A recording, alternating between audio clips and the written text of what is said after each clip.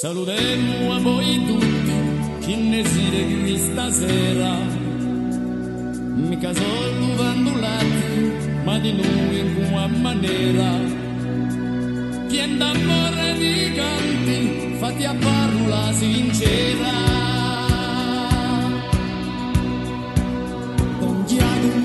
chiamato tutti cinque casi in chiesa. sono mi presa obedece. Só a ele ao que.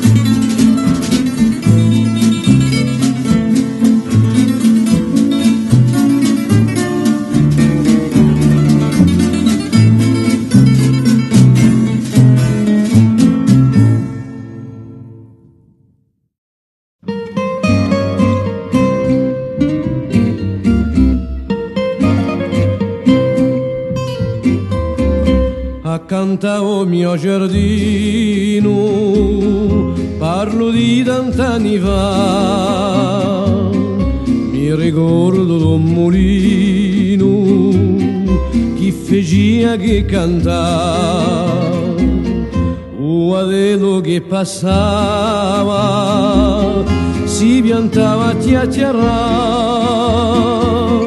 chiacchierando l'aiutava, l'aiutava a immaginare. O mio mulino, o mio mulino, sapia così per cantare, e sta cazzona in me risona, o mi ne posso più scordare, perché una fata tutta bellata, per me si metti a ballare, nato cammino, do mio mulino, chi non cessava di cantare. Ma lo fuoco ha stirpato e vorreste di guasto o adello si è essiccato a rodare non c'era più o portone tutto aperto non si sente più cantare e lo mulino deserto oggi mi face pietà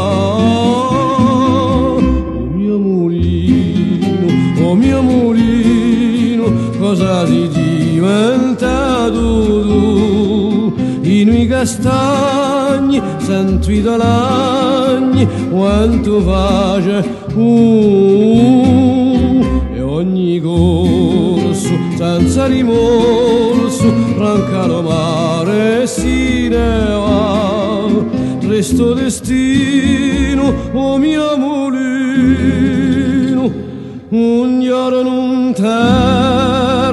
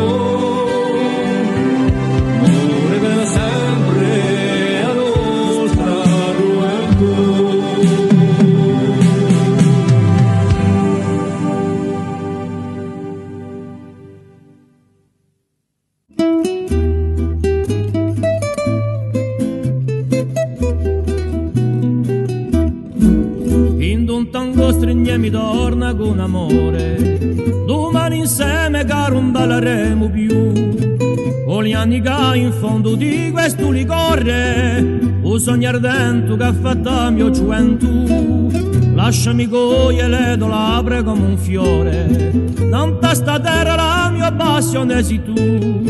Vieni a ballare, troppo amara, una chitarra sento suonare. Vieni qui in un'ultima strinta, vicino a te voglio dimenticare. Una sera alla tua promessa vinta, in un mio cuore assai più non ingannare. Non ti andà, ma fammi di non credere, che ho sognato e che si sembra a me. No, mio cuore, a tu guardato a vedere, a tu guardato un mio amore per te.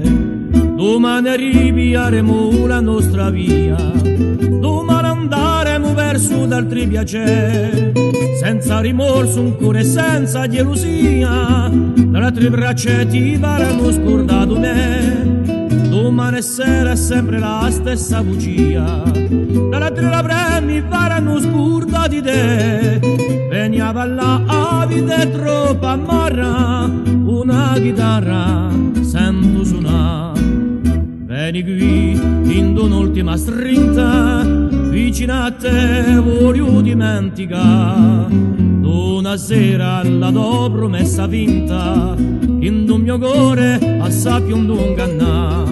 Non ti andà, ma fammi di non credere, che ho sognato e che si sembra a me. In do mio cuore, ho guardato a vedere, ho guardato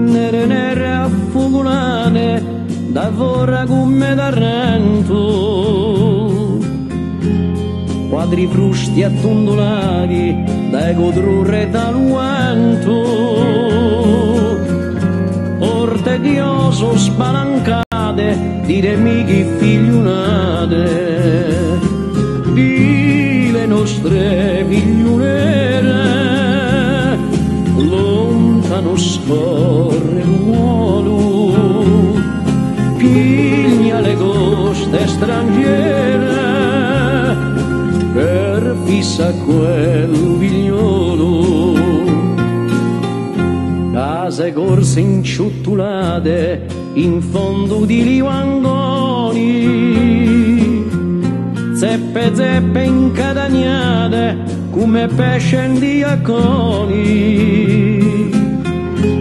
casarelle abbandonate scantate dagli stradoni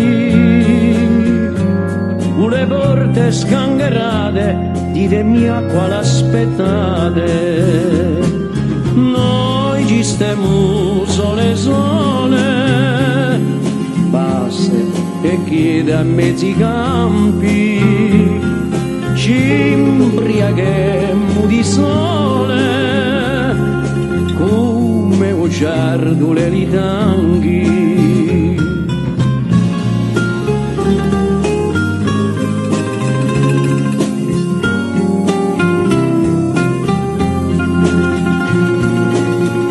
Case di un mio paese a parate in alto mare,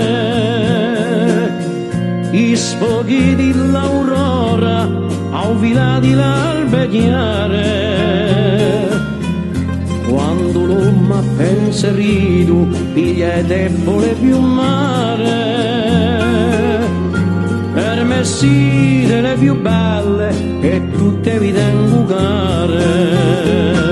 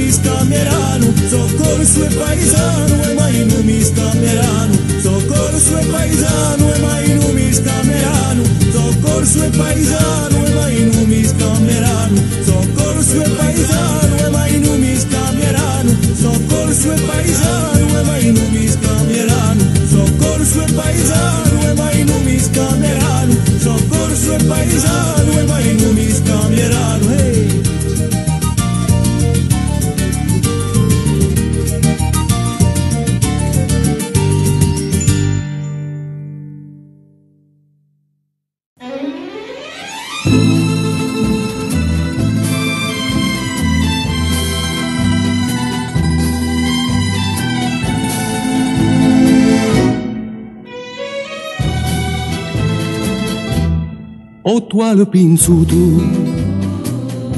qui débarques sur notre île. Oh toi le Pinsutu, toi qui arrives des grandes villes.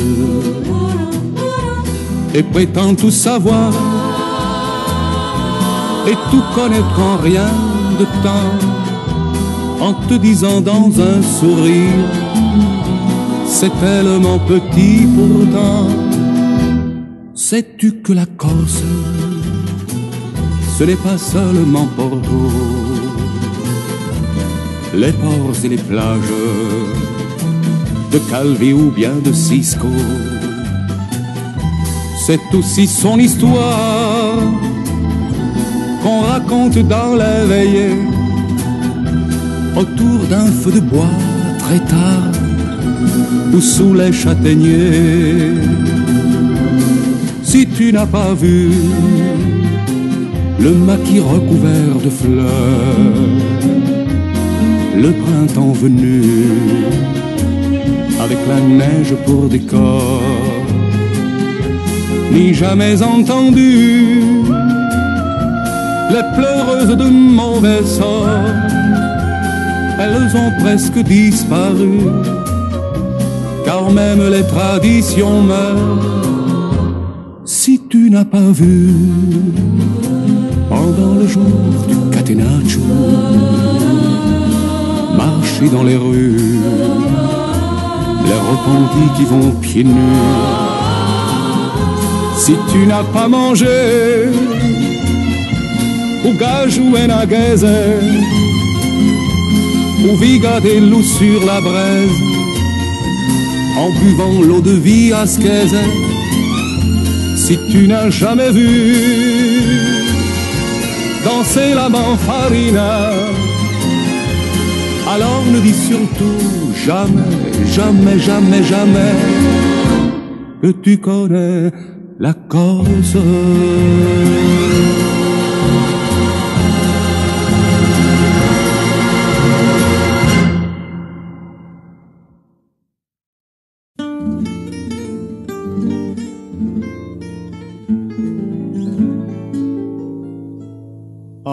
Vecchia casa di babbo si trova dentro una valla un scoglio caracù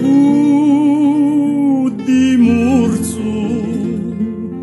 La tenenanta su spalla vicino sotto una vica corre una fontanella a maneci canto un merlo a sera luce una stella. A mezza macchia fiorita più in alto trenne compino carizzato dal vento risona come un a vecchia casa di babbo ma perché la giuchitata? Stanotte sognato che l'asino era falata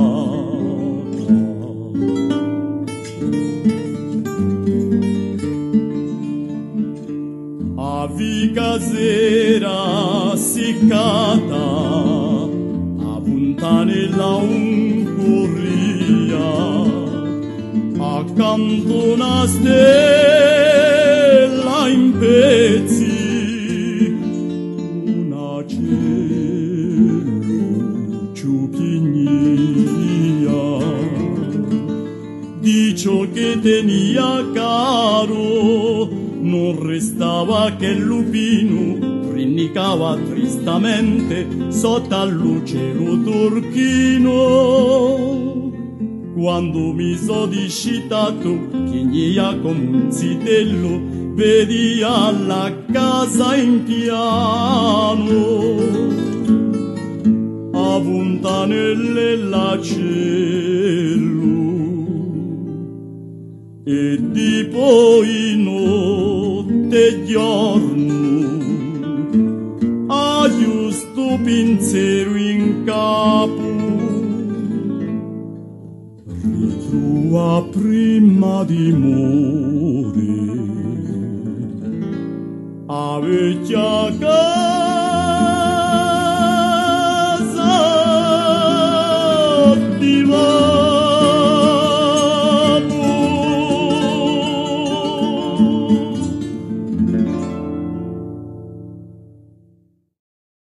Come le bello di l'amore a cui vage una core.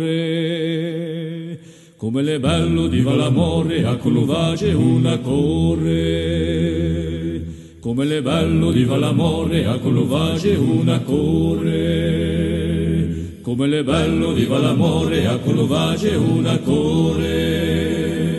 Come le bello di l'amore a cui vage una core.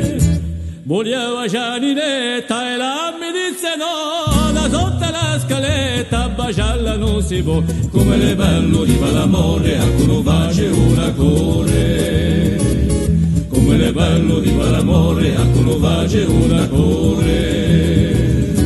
Le tocca i ribelli e la mi disse uh, me ne dato già dottore, chiamala di più su, e come le bello di l'amore a cui vace una core come le bello di l'amore a colovace una core.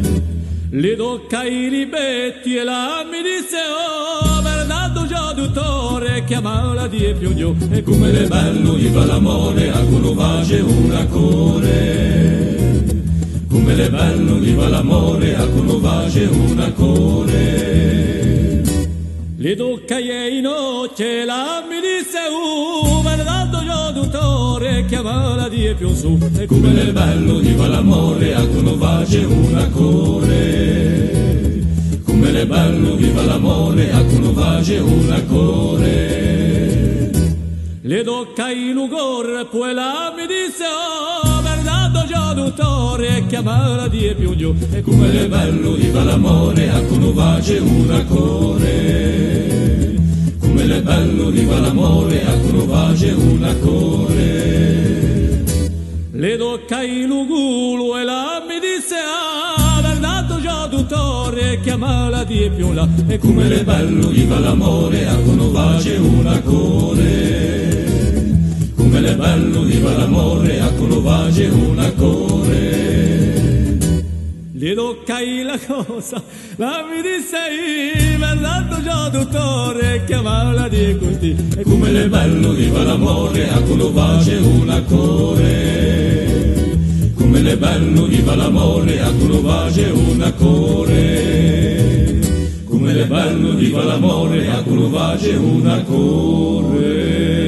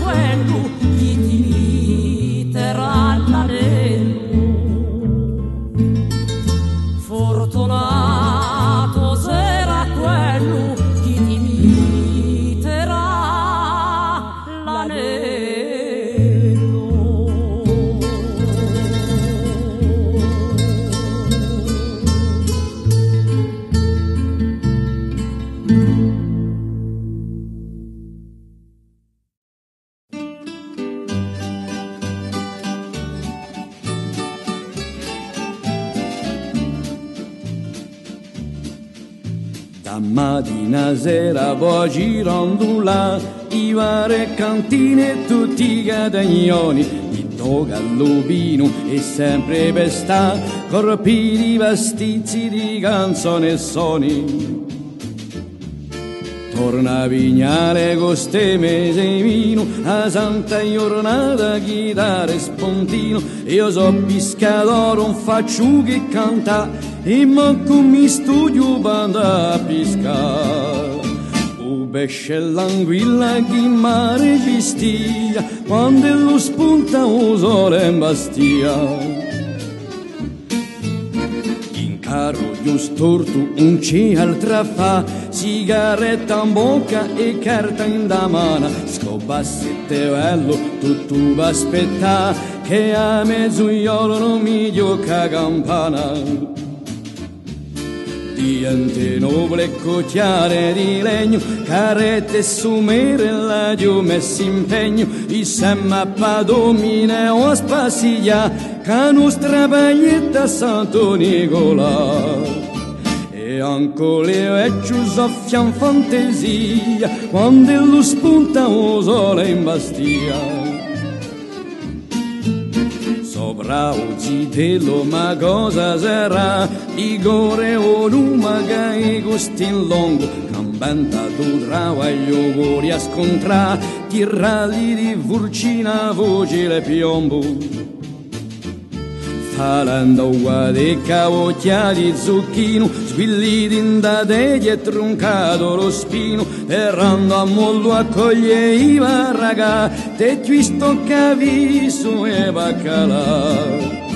Caffè, acqua, vita o portammo zia Quando lo spunta o sole in bastiglia Alona chi piange sopra l'arinella In cuda piaga per tua campanella. Cerca lonando bozzo chi ne va via quando lo spunta uso una mastio.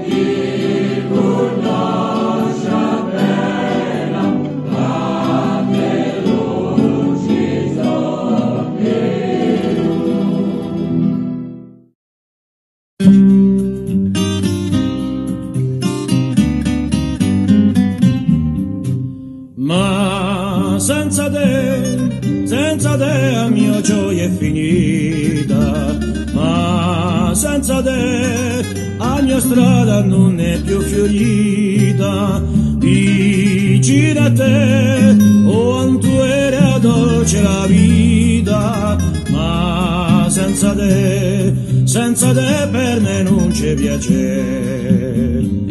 Che dolci momenti di nostra gioventù, in tuo cuore sospenti, non ti ricordi più, non tu lo mio cammino, oggi solo trascino, o mio tristo destino, perché non ci sei tu.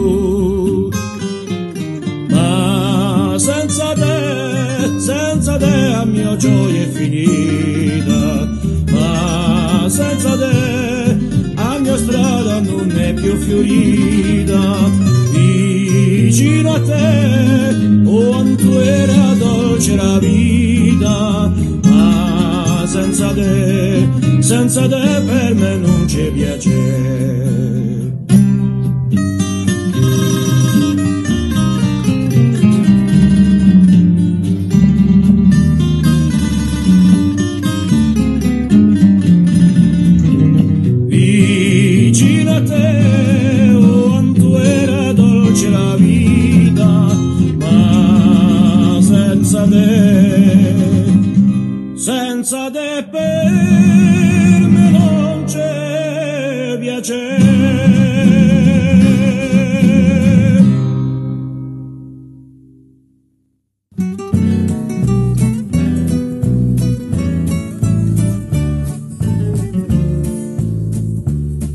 come l'isobelli l'anni, verdigiante spensierati, hanno un nome zidillina, bello come cardellina, e gli ancusenza di ammassi, pigliano gli stessi di assi, sanno chi per campa un'ora, ci vuole passare lavora, fora ci sono tutte rive, a barca come scaloni, c'è un fiume con l'anguille e un orto pieno a miloni. Per finisce una giornata con mai straziata c'è sempre un decalchitioso un sonno relazioso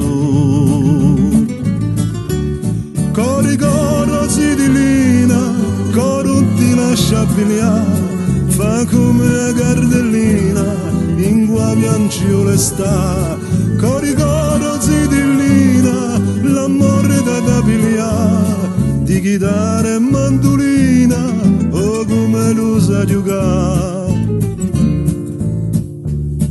come l'isobelli l'anni chi crescono scavigliati e la più fine e sicura piano si face matura un giorno per sta zitella e lo lascia torturella e poi si piglia di scorre solo solo con l'amore e sono tutti ragionati più dolci che serenati se l'uomo lo sindiore mi pigliara giusto fiore avanzo troppo positivo e la mi pare un andiello ma da bene lo momento teci consento. consentu Corigoro si dillina, corun ti lascia pigliare Fa come a gardellina, in guabianciu le sta Corigoro si dillina, l'amore da tabigliare Di guidare mandolina, o come lo sa giugare l'isobeli l'anni chi si svegliano stonati ti sente come una pena che li oleno catena un laigia ranannimo hanno scelto so cammino oramai so sicuri e se di corre maturi su cadinantu le porte diventi antico più forte non mi chipano per copi quanto ce ne mi carrotti pochi pochi ma son mughe. Chi fanno spunta una luce e una canzone argentina come tutta zidillina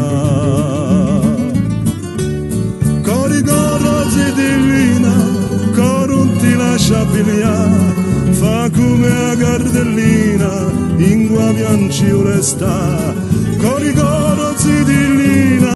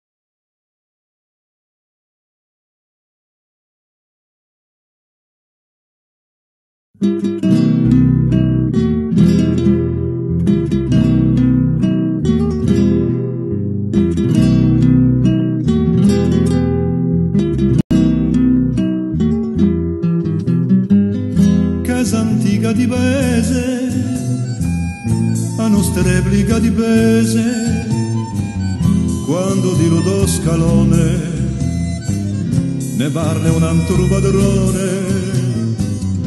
starei sempre di stessa, se non bene calchi strano, ha fatti un'altra bellezza, con la sua mescola a mano.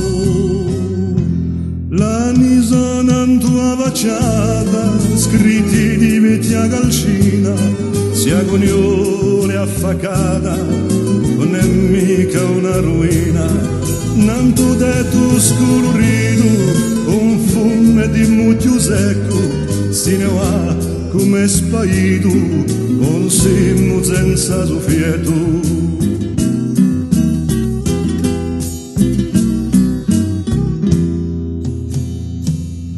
a cavallo a due alendie, udre pesa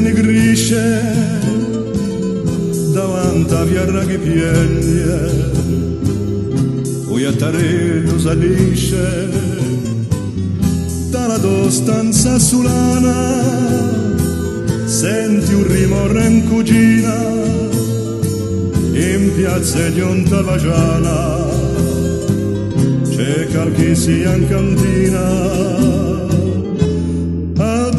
pulizia di Pasqua non ti lascia senza aiuto e femmine vanno all'acqua e mettono di asco a nudo. Per un fuoco di Natale ognuno faccia un regalo un ricco mette una ceppa e tu la dolentia secca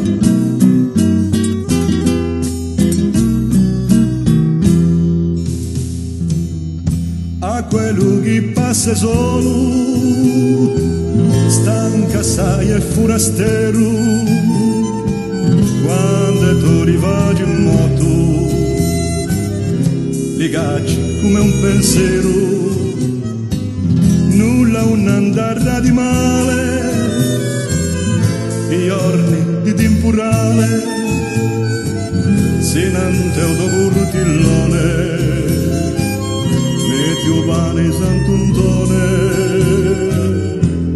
casa antica di paese, odia più bella che prima, e la mia forza di legge per salvarti la mia rima. Se tu cambi di padrone, guarda che lo sia corso, e lo è nato testimone, dunque esposto ad un rimorso.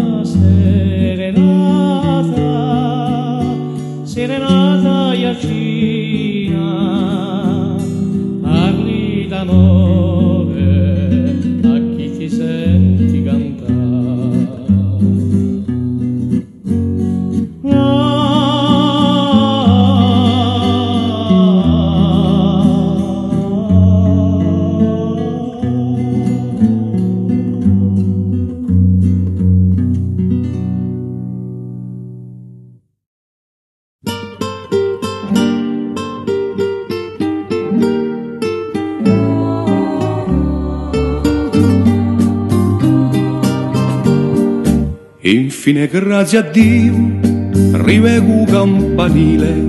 Un giorno ho lasciato una mano d'aprile si deluso perduto ritorno capo bianco vengo a cercare riposo perché oggi sono stanco.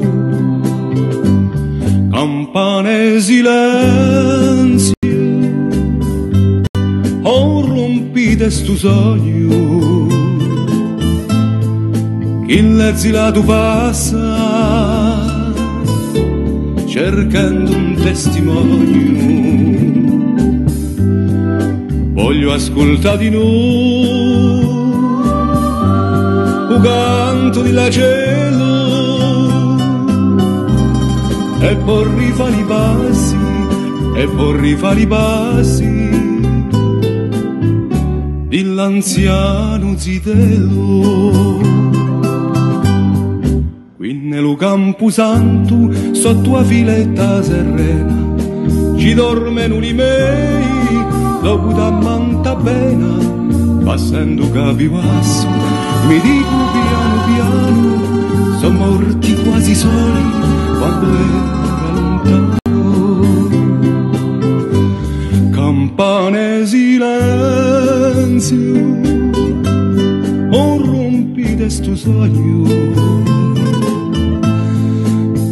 l'esilado passa cercando un testimone voglio ascoltare di noi un canto di la cielo e poi rifare i passi e poi rifare i passi dell'anziano zitello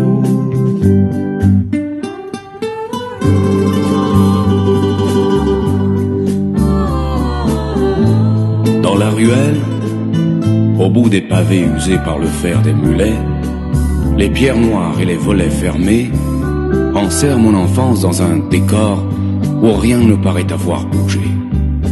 Juste quelques brins d'herbe. Des fleurs jetées là par le vent ont poussé sur les ardoises du toit de la maison où je suis né.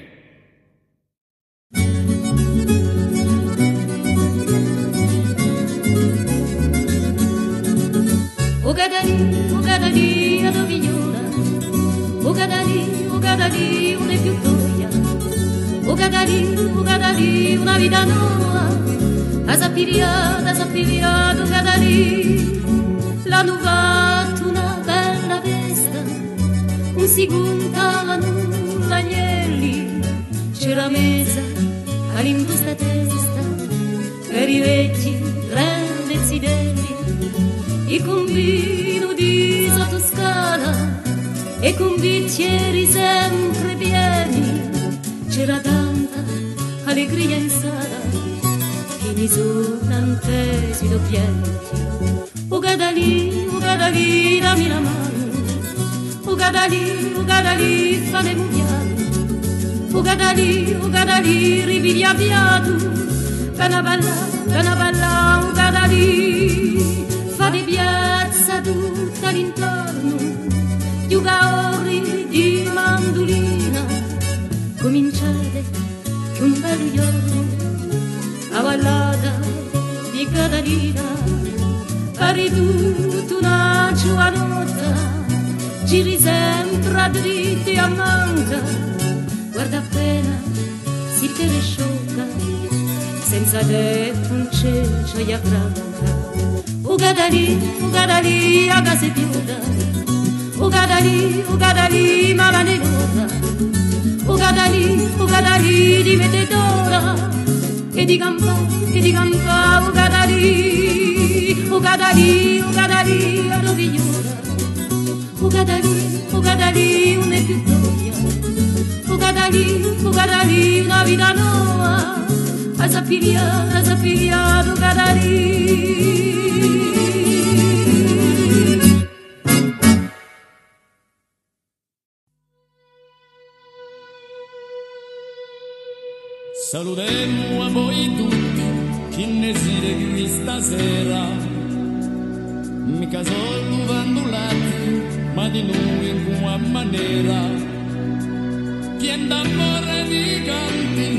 própria voz.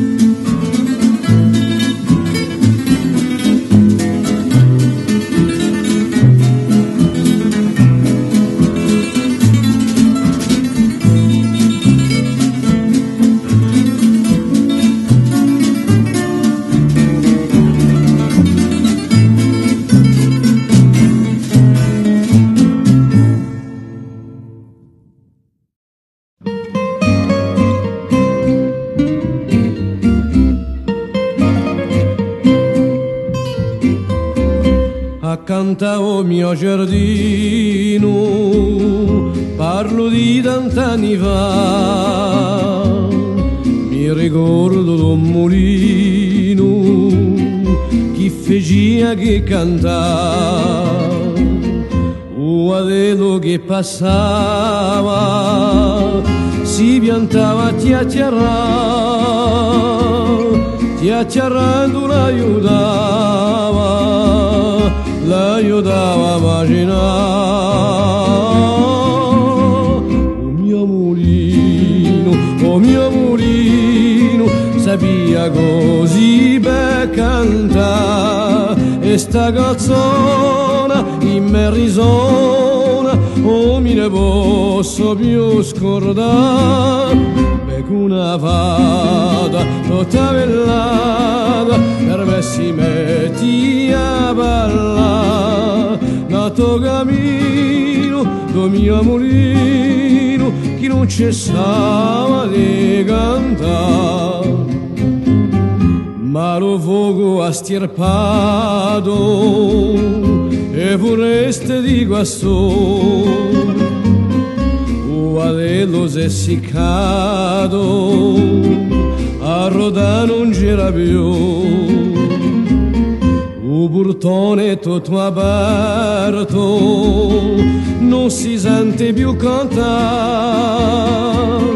e lo mulino deserto oggi mi face pietà. O mio mulino o mio mulino cosa si diventa tu i nuovi castagni sento i dolagni quanto face uh, e ogni corso senza rimorso ranca lo mare si ne va resto destino o mio mulino un giorno non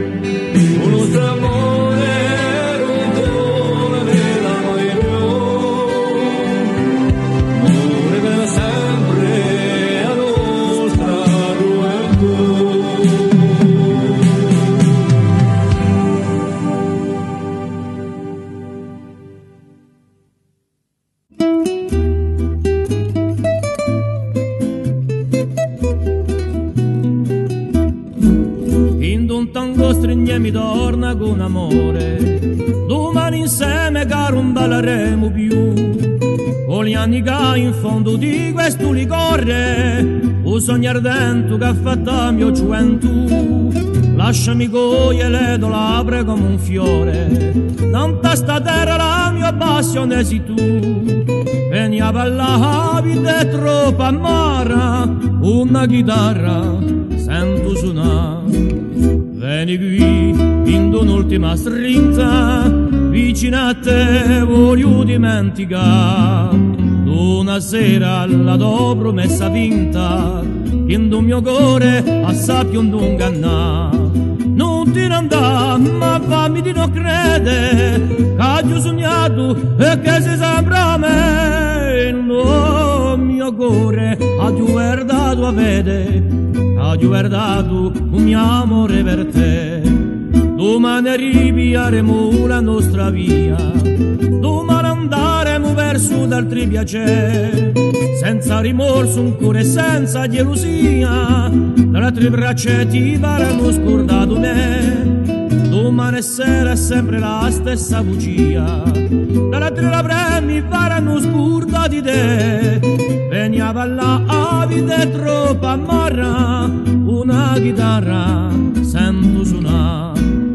Vieni qui in un'ultima strinta, vicino a te voglio dimenticare. Una sera alla tua promessa vinta, in un mio cuore assai più non ingannare. Non ti andà, ma fammi di non credere, che ho sognato e che si sembra a me. In do mio cuore ha guardato a vedere, ha guardato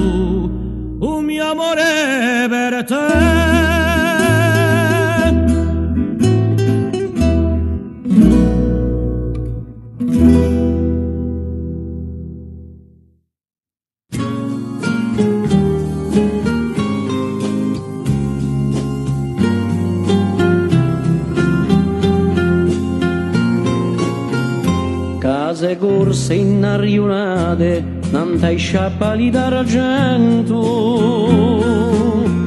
nere nere affugulate, da vorra come d'arrento, quadri frusti attondolati, dai codrurre taluento, porte di oso spalancate, di remichi figliunate. Di nostre figliolere lontano scorre l'uolo piglia le coste straniere per fissa quel figliolo case corse inciuttulate in fondo di liwangoni zeppe zeppe incadagnate come pesce in diaconi casarelle abbandonate scantate dagli stradoni le porte scangherate ditemi a quale aspettate. Noi ci stiamo sole sole e chiede a mezzi campi ci imbriaghiamo di sole come un giardole li tanghi.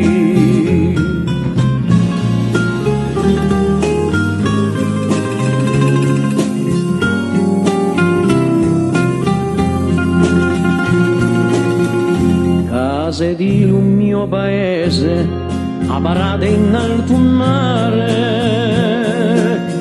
i sfoghi dell'aurora au di l'albe chiare quando l'uomo pensa ridu piglia e debole più mare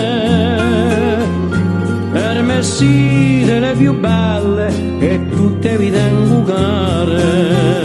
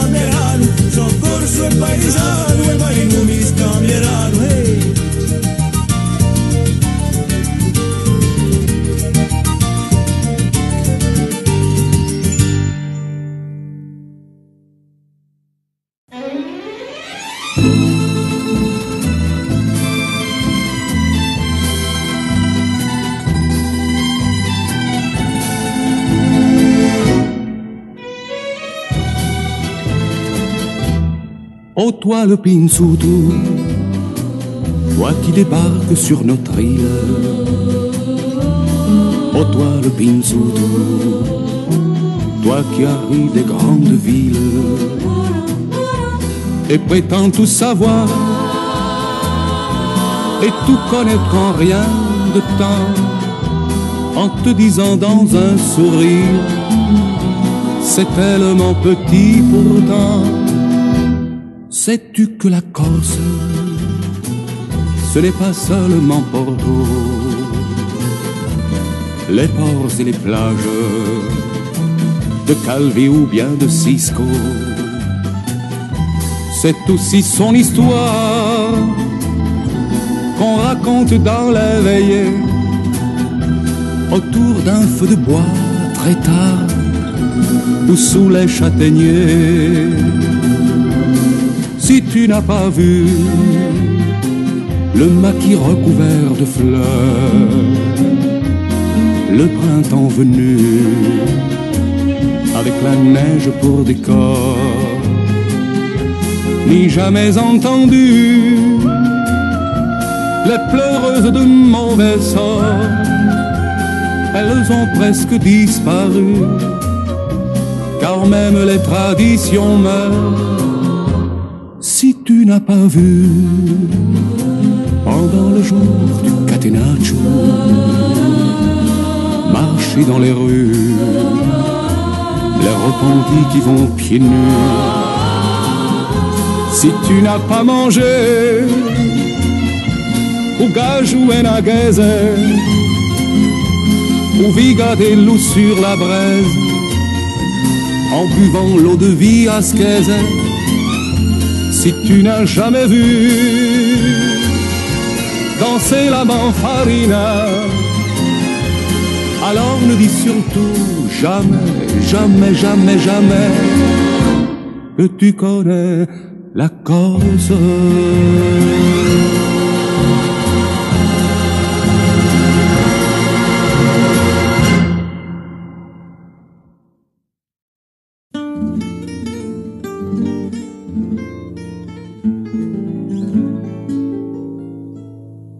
A vecchia casa di babbo si trova dentro una valla, un scoglio caracù di murzu, la tenenanta su spalla vicino sotto una vica.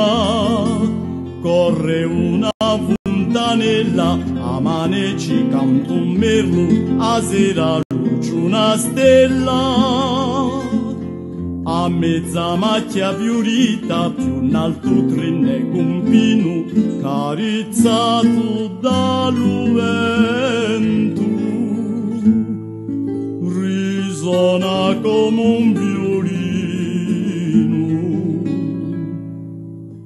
a vecchia casa di babbo ma perché la giuchitata? Stanotte giusuniato che l'asino era falata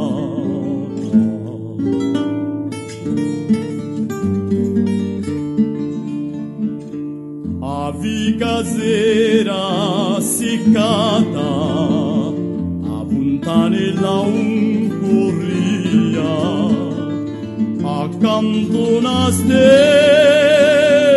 in pezzi una cielo ciuchignia di ciò che tenia caro non restava che il lupino rinnicava tristamente sotto al lucero turchino quando mi so discitato chignia come un zitello vedi alla casa in piano. A puntanelle la cielo e di poi notte e giorno giusto pensiero in capo. Ritrova prima di morire a vecchia casa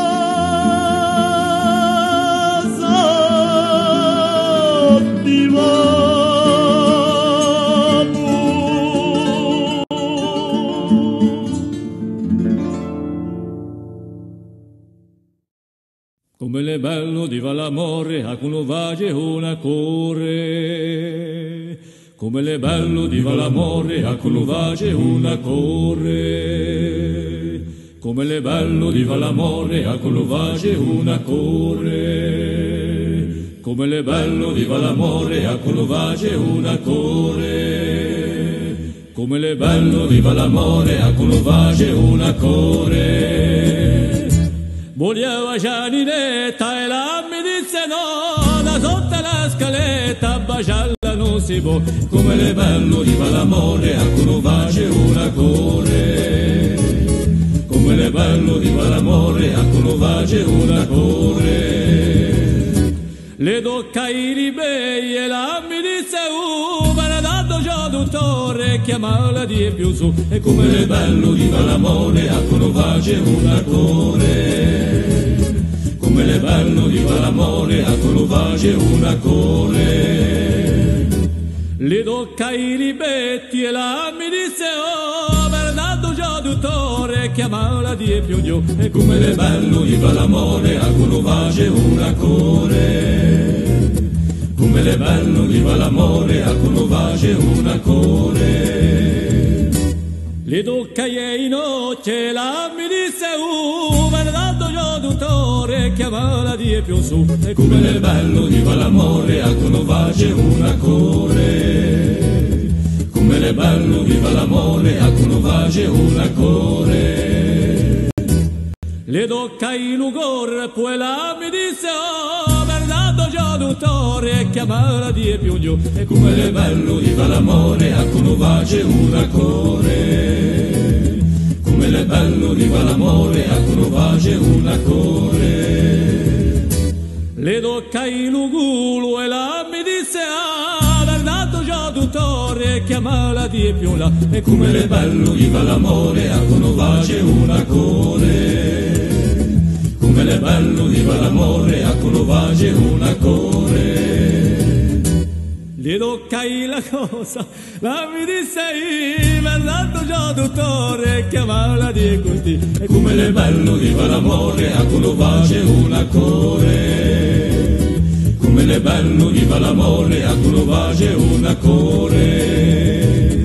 Come è bello viva l'amore a cunovage una core.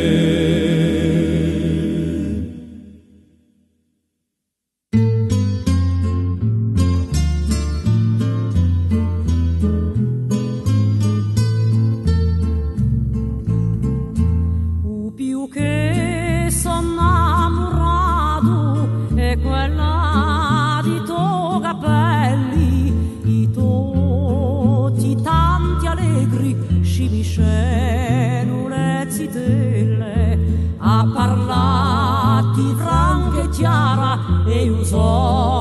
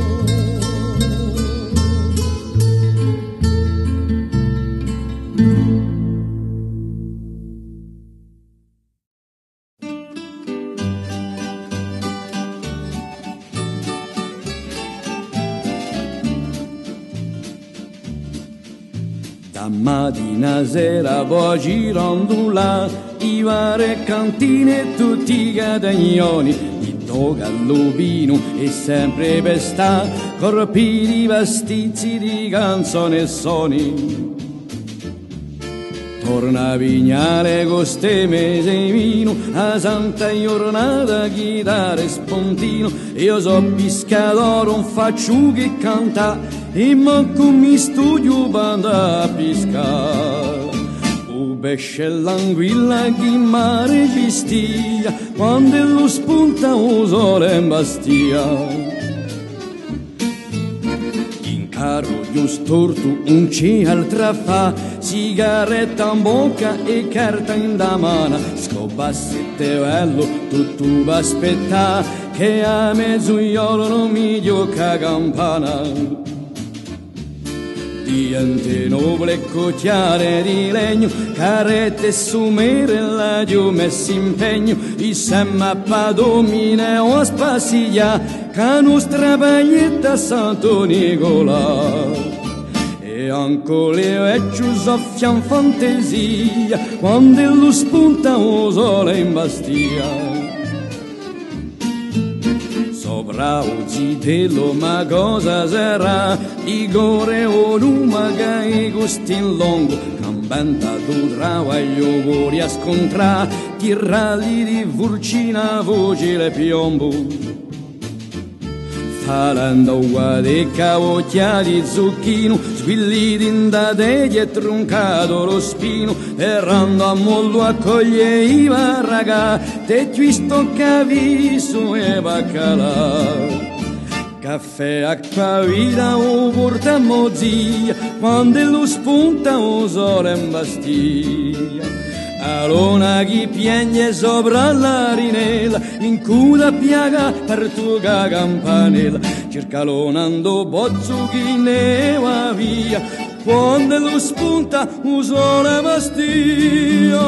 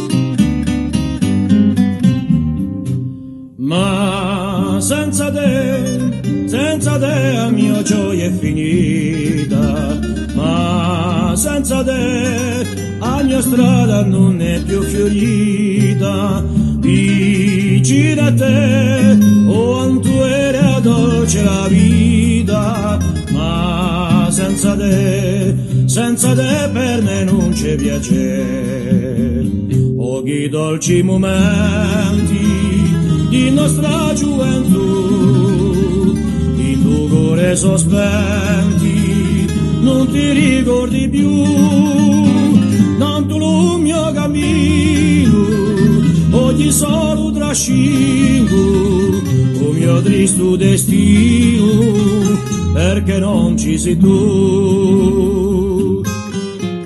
Ma senza te, senza mia gioia è finita, ma senza te la mia strada non è più fiorita. Vicino a te, quanto era dolce la vita, ma senza te, senza te per me non c'è piacere.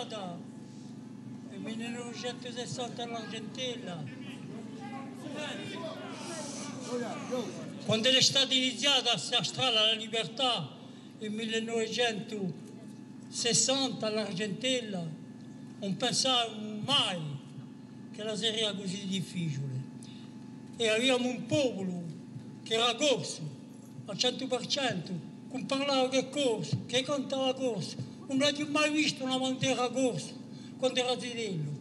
Abbiamo cresciuto, ingrandato, sperato che la bandiera francese girano, le chemin de dame, non sapete mica so che è, a guerra i 70, i sacrifici, i corsi sono più, corsi, sono più francesi che i francesi. E eravamo così dicendo ma come un paese così all'abbandono, non più mica coscienza che è sottomesso, che è sottomesso a forze politiche locali e nazionali francesi che sono contro l'interesse del popolo. C'è potuto predicare, c'è potuto andare in ogni casa, c'è potuto andare in ogni regione, in ogni chiesa, in ogni elezione. Ah, sapete che nel 1970 abbiamo fatto un voto a un'elezione, un voto, ieri do cantoni Campitelli, un voto. E, e, un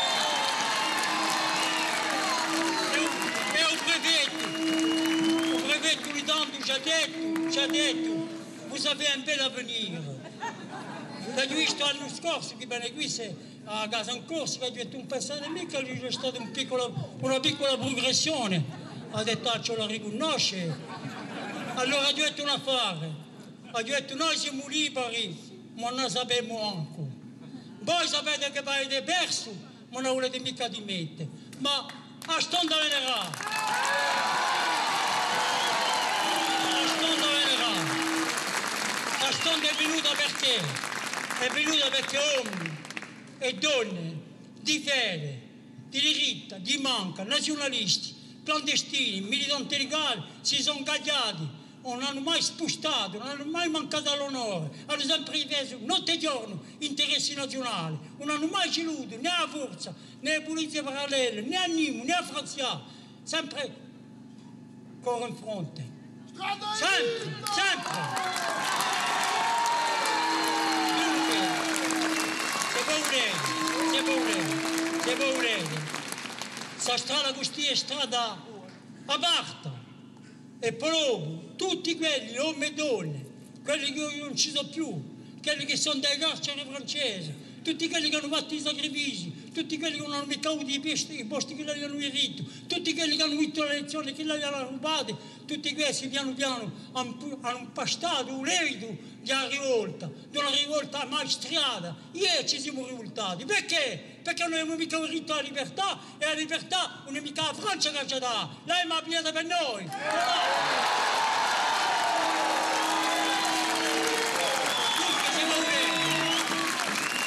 Oggi, ma sapete, un filosofo marxista Antonio Gramsci l'ha detto, le vittorie ideologiche avanzano sempre più presto che le vittorie politiche. E noi sappiamo già tutti che noi abbiamo vinto. Pensate che si può accogliere migliaia e migliaia di persone. Pensate che ci può essere militanti che sacrificano tutta la sua vita, tutta la sua libertà, cent'annate di prigione. Pensate che non è morto talmente di nostri unicamente, semplicemente così perché lo un verso, perché luce, perché le amora, perché ci vuole morire interessante. No!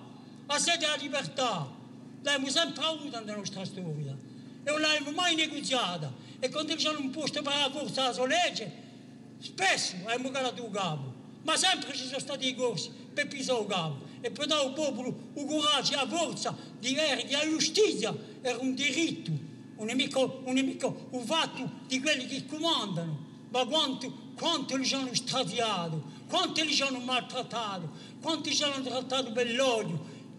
Non abbiamo mai tenuto conto di questo. Abbiamo avanzato, eravamo con l'agricoltore, eravamo con gli studenti, eravamo per la lingua corsa, eravamo per l'università. Ma la questione che pongo, è pongo mica violenza.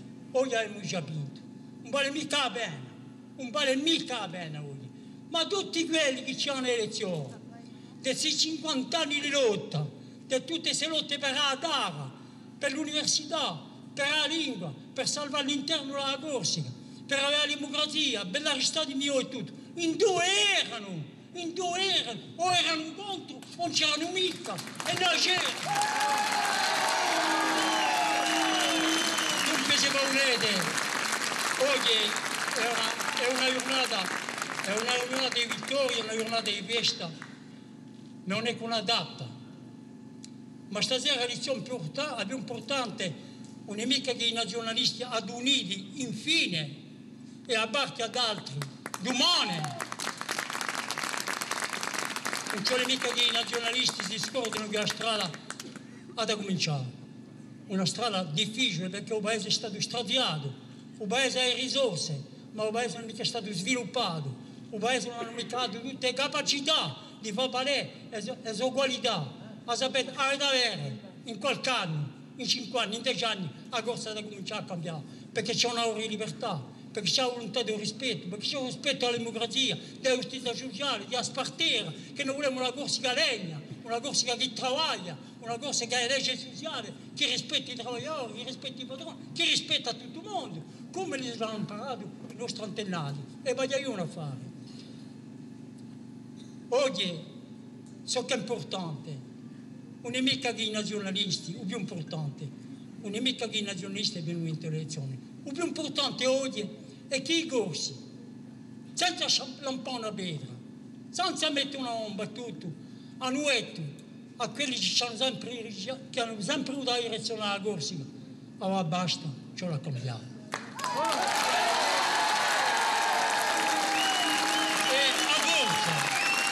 Forza, a forza che avete, quando potete tutti uniti, quando volete lavorare insieme, non c'è mica bisogno di violenza. Avete i cartolari che sono pronti, avete i nostri mondi che sono pronti, c'è un diritto internazionale che permette a tutti i popoli di scegliere il suo destino. Una è ma scegliamo con noi. Perché non lo scegliamo mica? Perché? Se volete, se volete, se volete, la strada di un travaglio. Domani i responsabili sceglieranno la strada. Domani ragioneranno tra di loro. Domani apriranno la discussione con tutte le forze progresso, perché la Corsica non può mica essere salvata dai soli nazionalisti, la Corsica deve essere salvata per i suoi violi ad uniti in programmi, anche un potere, anche un'opposizione, anche la possibilità di cambiare.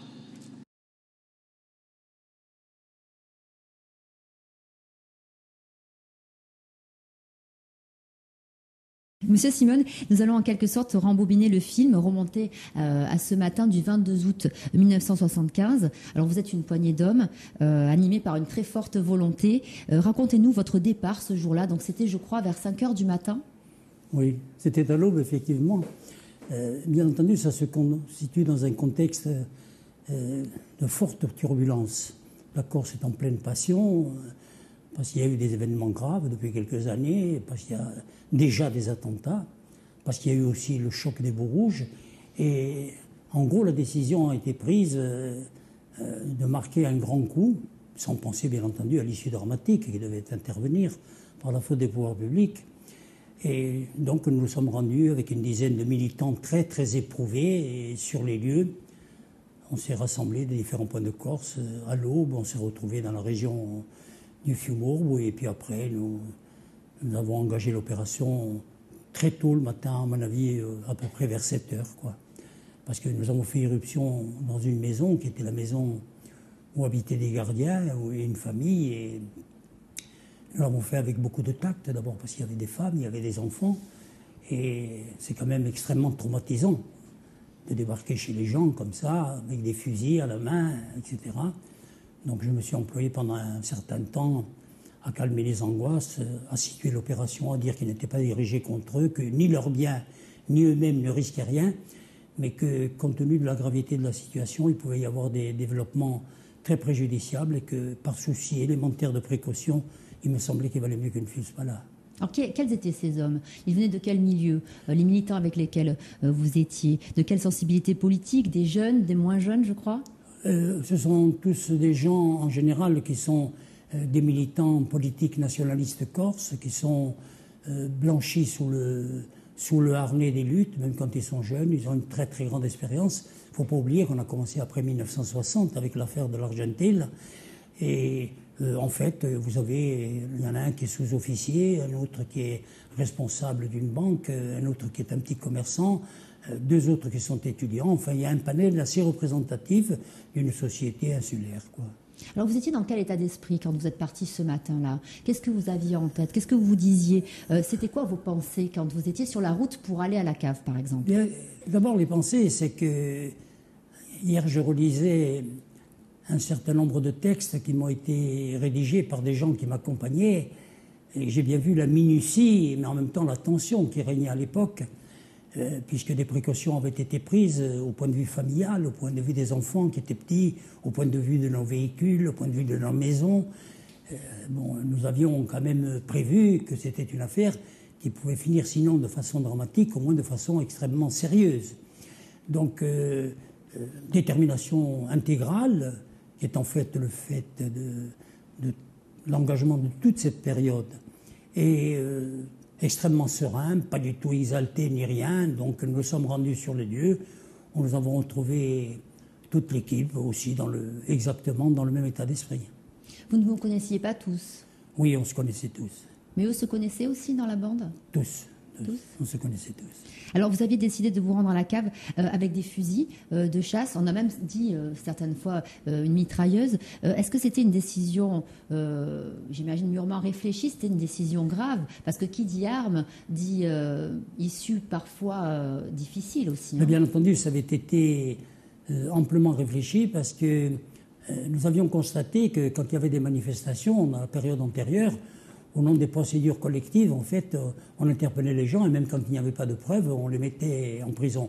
Et puis surtout, surtout, c'est que l'affaire était d'une portée politique majeure et il était impensable que l'on puisse quitter les lieux simplement avec trois grenades lacrymogènes, euh, deux admonestations et quatre gifles.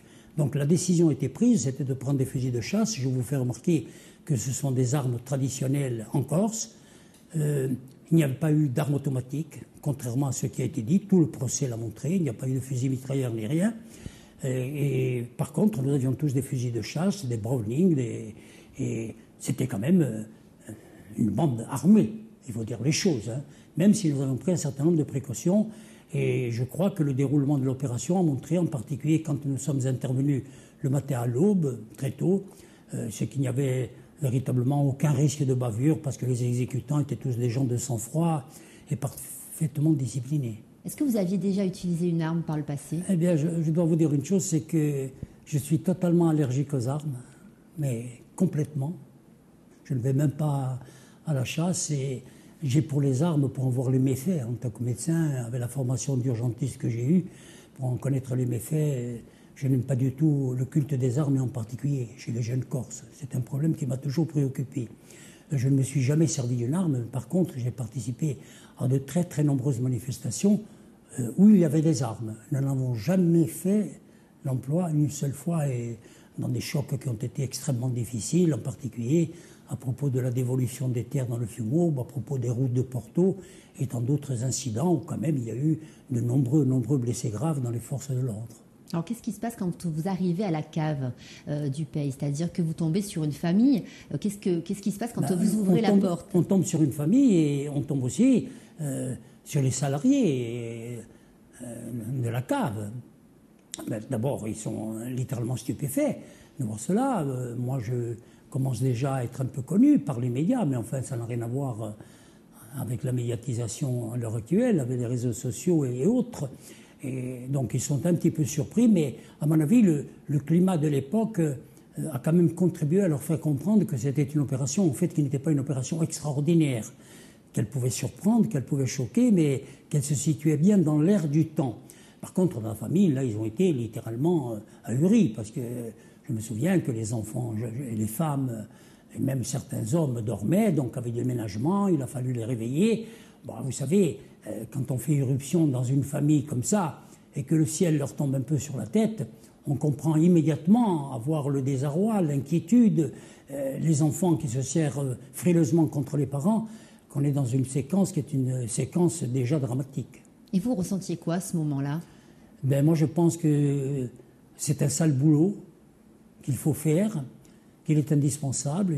Il m'a d'ailleurs guidé, vous le verrez dans la suite de l'opération, mais qu'en aucun cas on ne peut prendre le risque de laisser des gens totalement étrangers euh, à l'affaire en cours euh, euh, encourir le moindre danger. Vous aviez demandé à des journalistes de venir sur les lieux? Nous n'avons pas demandé à des journalistes de venir sur les lieux pour une raison simple, pour des raisons de confidentialité, mais nous avions pris un certain nombre de précautions pour nous assurer que certains journalistes étaient bien sur place, étaient en, fonction, que leur téléphone, à l'époque c'était surtout les fixes qui marchaient, nous sommes quand même en 1975, que tous les gens étaient là, étaient au poste, et effectivement, dès que l'opération a été déclenchée, par tout un système de réseau, nous avions prévenu immédiatement tous les médias de, de, Corse, par les responsables locaux, et en même temps, nous avions prévenu les gros médias continentaux, en particulier les télévisions, euh, les grands journaux, ce qui explique que immédiatement il y a eu une couverture de presse très importante, ce qui était quand même un des objectifs poursuivis.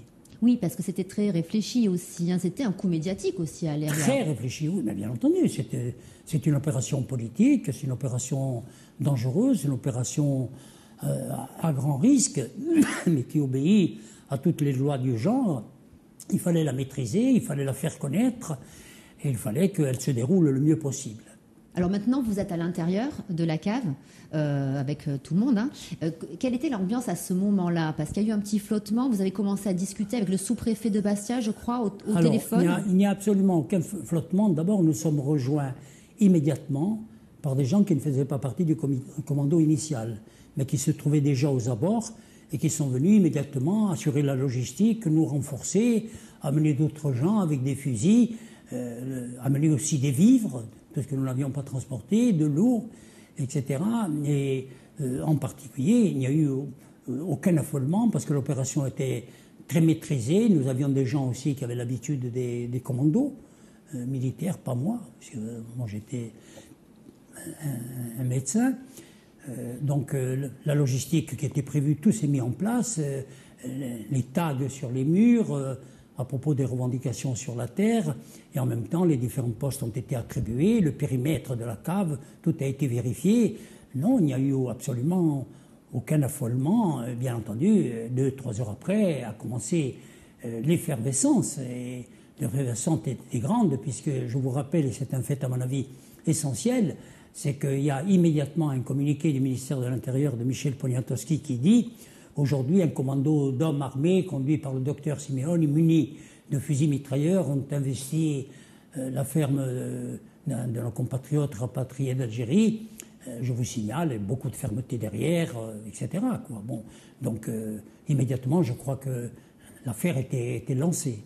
Alors je parlais plutôt d'un flottement au niveau de le, des négociations entre guillemets Mais avec. Les négociations, celui qui flotte totalement, ce n'est pas nous, Voilà. c'est l'État qui flotte. Voilà. Il y a eu euh, un moment où vous avez été au téléphone avec le sous-préfet de Bastia. Oui, on a été au téléphone avec le sous-préfet, on a été au, au, téléphone avec des autorités, mais enfin, il y a quand même une chose qui m'a frappé, alors que dans les manifestations qui étaient déjà sévères ou susceptibles de dégénérer, euh, on nous envoyait toujours des gendarmes. Là, on n'a pas envoyé de gendarmes et euh, on prenait des contacts. Là, il n'y a eu aucun contact. Par contre, il y a eu des signes d'aggravation. C'est que dans les heures qui ont suivi, ils nous ont immédiatement interrompu toutes les lignes téléphoniques. Je vous rappelle qu'il n'y avait pas de portable à l'époque. Et que euh, ça nous avait beaucoup choqué parce qu'on installait des lignes téléphoniques de façon express quand il y avait des prises d'otages ou autres. Pour les plus formés, dont moi-même, nous avons compris que c'était une volonté à la fois d'isolement et de durcissement. L'État a totalement flotté Et puis après, on commençait les né- négociations avec le sous-préfet, bien entendu, qui tenait le langage euh, d'un responsable de l'État. C'est inadmissible, vous allez être sanctionné, euh, euh, quitter les lieux sans autre forme de procès, auquel on a opposé une attitude ferme, polie, et bien entendu, il se tenait à distance parce que nous avons l'air de gens déterminés, et nous l'étions. Alors à ce moment-là, il y avait encore des gens, euh, par exemple des gens de, de- des membres de famille qui étaient venus pour euh, aider au ravitaillement et tout ça. Est-ce qu'il y avait encore des gens à l'intérieur de la cave? Et on- moi, j'avais entendu hein, dans des documentaires que certains d'entre vous avaient peur pour les gens qui étaient à l'intérieur, que quelques des tirs soient. Oui, soient- bien entendu, bien soient entendu qu'il y avait des inquiétudes quand une opération est menée comme ça, euh, à force ouverte, et que vous entendez tomber le communiqué de M. Michel Poniatowski, euh, vous comprenez qu'on est rentré dans autre chose. Et ça, se situe- ça se situe encore dans une spirale progressive de dramatisation depuis, depuis quand même euh, de très très longues années. Euh, bien entendu, les gens étaient inquiets, mais dedans, ce n'était pas un happening avec les familles qui venaient amener, amener des paniers. C'était des gens qui avaient un rôle précis, qui nous amenaient de la nourriture, qui nous amenaient de l'eau, et certains hommes qui nous rejoignaient, qu'on n'avait pas, si vous voulez, compromis dans l'opération initiale. D'accord. Et puis la nuit se passe, hein, je crois que vous veillez jusqu'à minuit. Et puis euh, quelque chose bascule à 6 heures du matin lorsque vous entendez arriver les hélicoptères, une dizaine, une douzaine, je crois, d'hélicoptères. Qu'est-ce que vous êtes dit à ce ce qui se passe, euh, la nuit est extrêmement, est extrêmement tendue, est extrêmement vigilante parce que il y a eu l'interruption du téléphone, il y a eu les interventions d'abord de Poniatowski et puis après d'autres responsables qui nous ont été rapportés. Euh, le préfet de Corse, je crois, c'était M. Gilly à l'époque, sur les antennes. Bon, on a compris que c'était une affaire que l'État la prenait très au sérieux et qu'il n'avait pas du tout l'intention euh, d'engager le moindre dialogue. Nous avions peur aussi d'une attaque, euh, attaque de nuit, donc inutile de vous dire que pratiquement nous n'avons pas dormi. Et nous étions peut-être à l'époque, nous étions une quinzaine dans, dans la nuit, 15 ou 20 restés sur place. Et quand on s'était assoupi le, mat- le matin à l'aube, j'ai été réveillé, enfin moi je n'avais pas dormi du tout, mais j'ai été très très surpris par un bruit infernal. En fait, c'était des, des hélicoptères Puma euh, qui tournaient au-dessus de la cave, mais à très très basse altitude, avec un bruit euh, effrayant qui a semé le trouble euh, dans le groupe dans lequel nous étions. Et j'ai compris que c'était une opération d'intimidation. Ils volaient trop près de l'objectif. Et j'ai dit tout de suite à quelqu'un qui était avec moi, j'ai dit, euh, tire un coup de fusil sur les hélicos.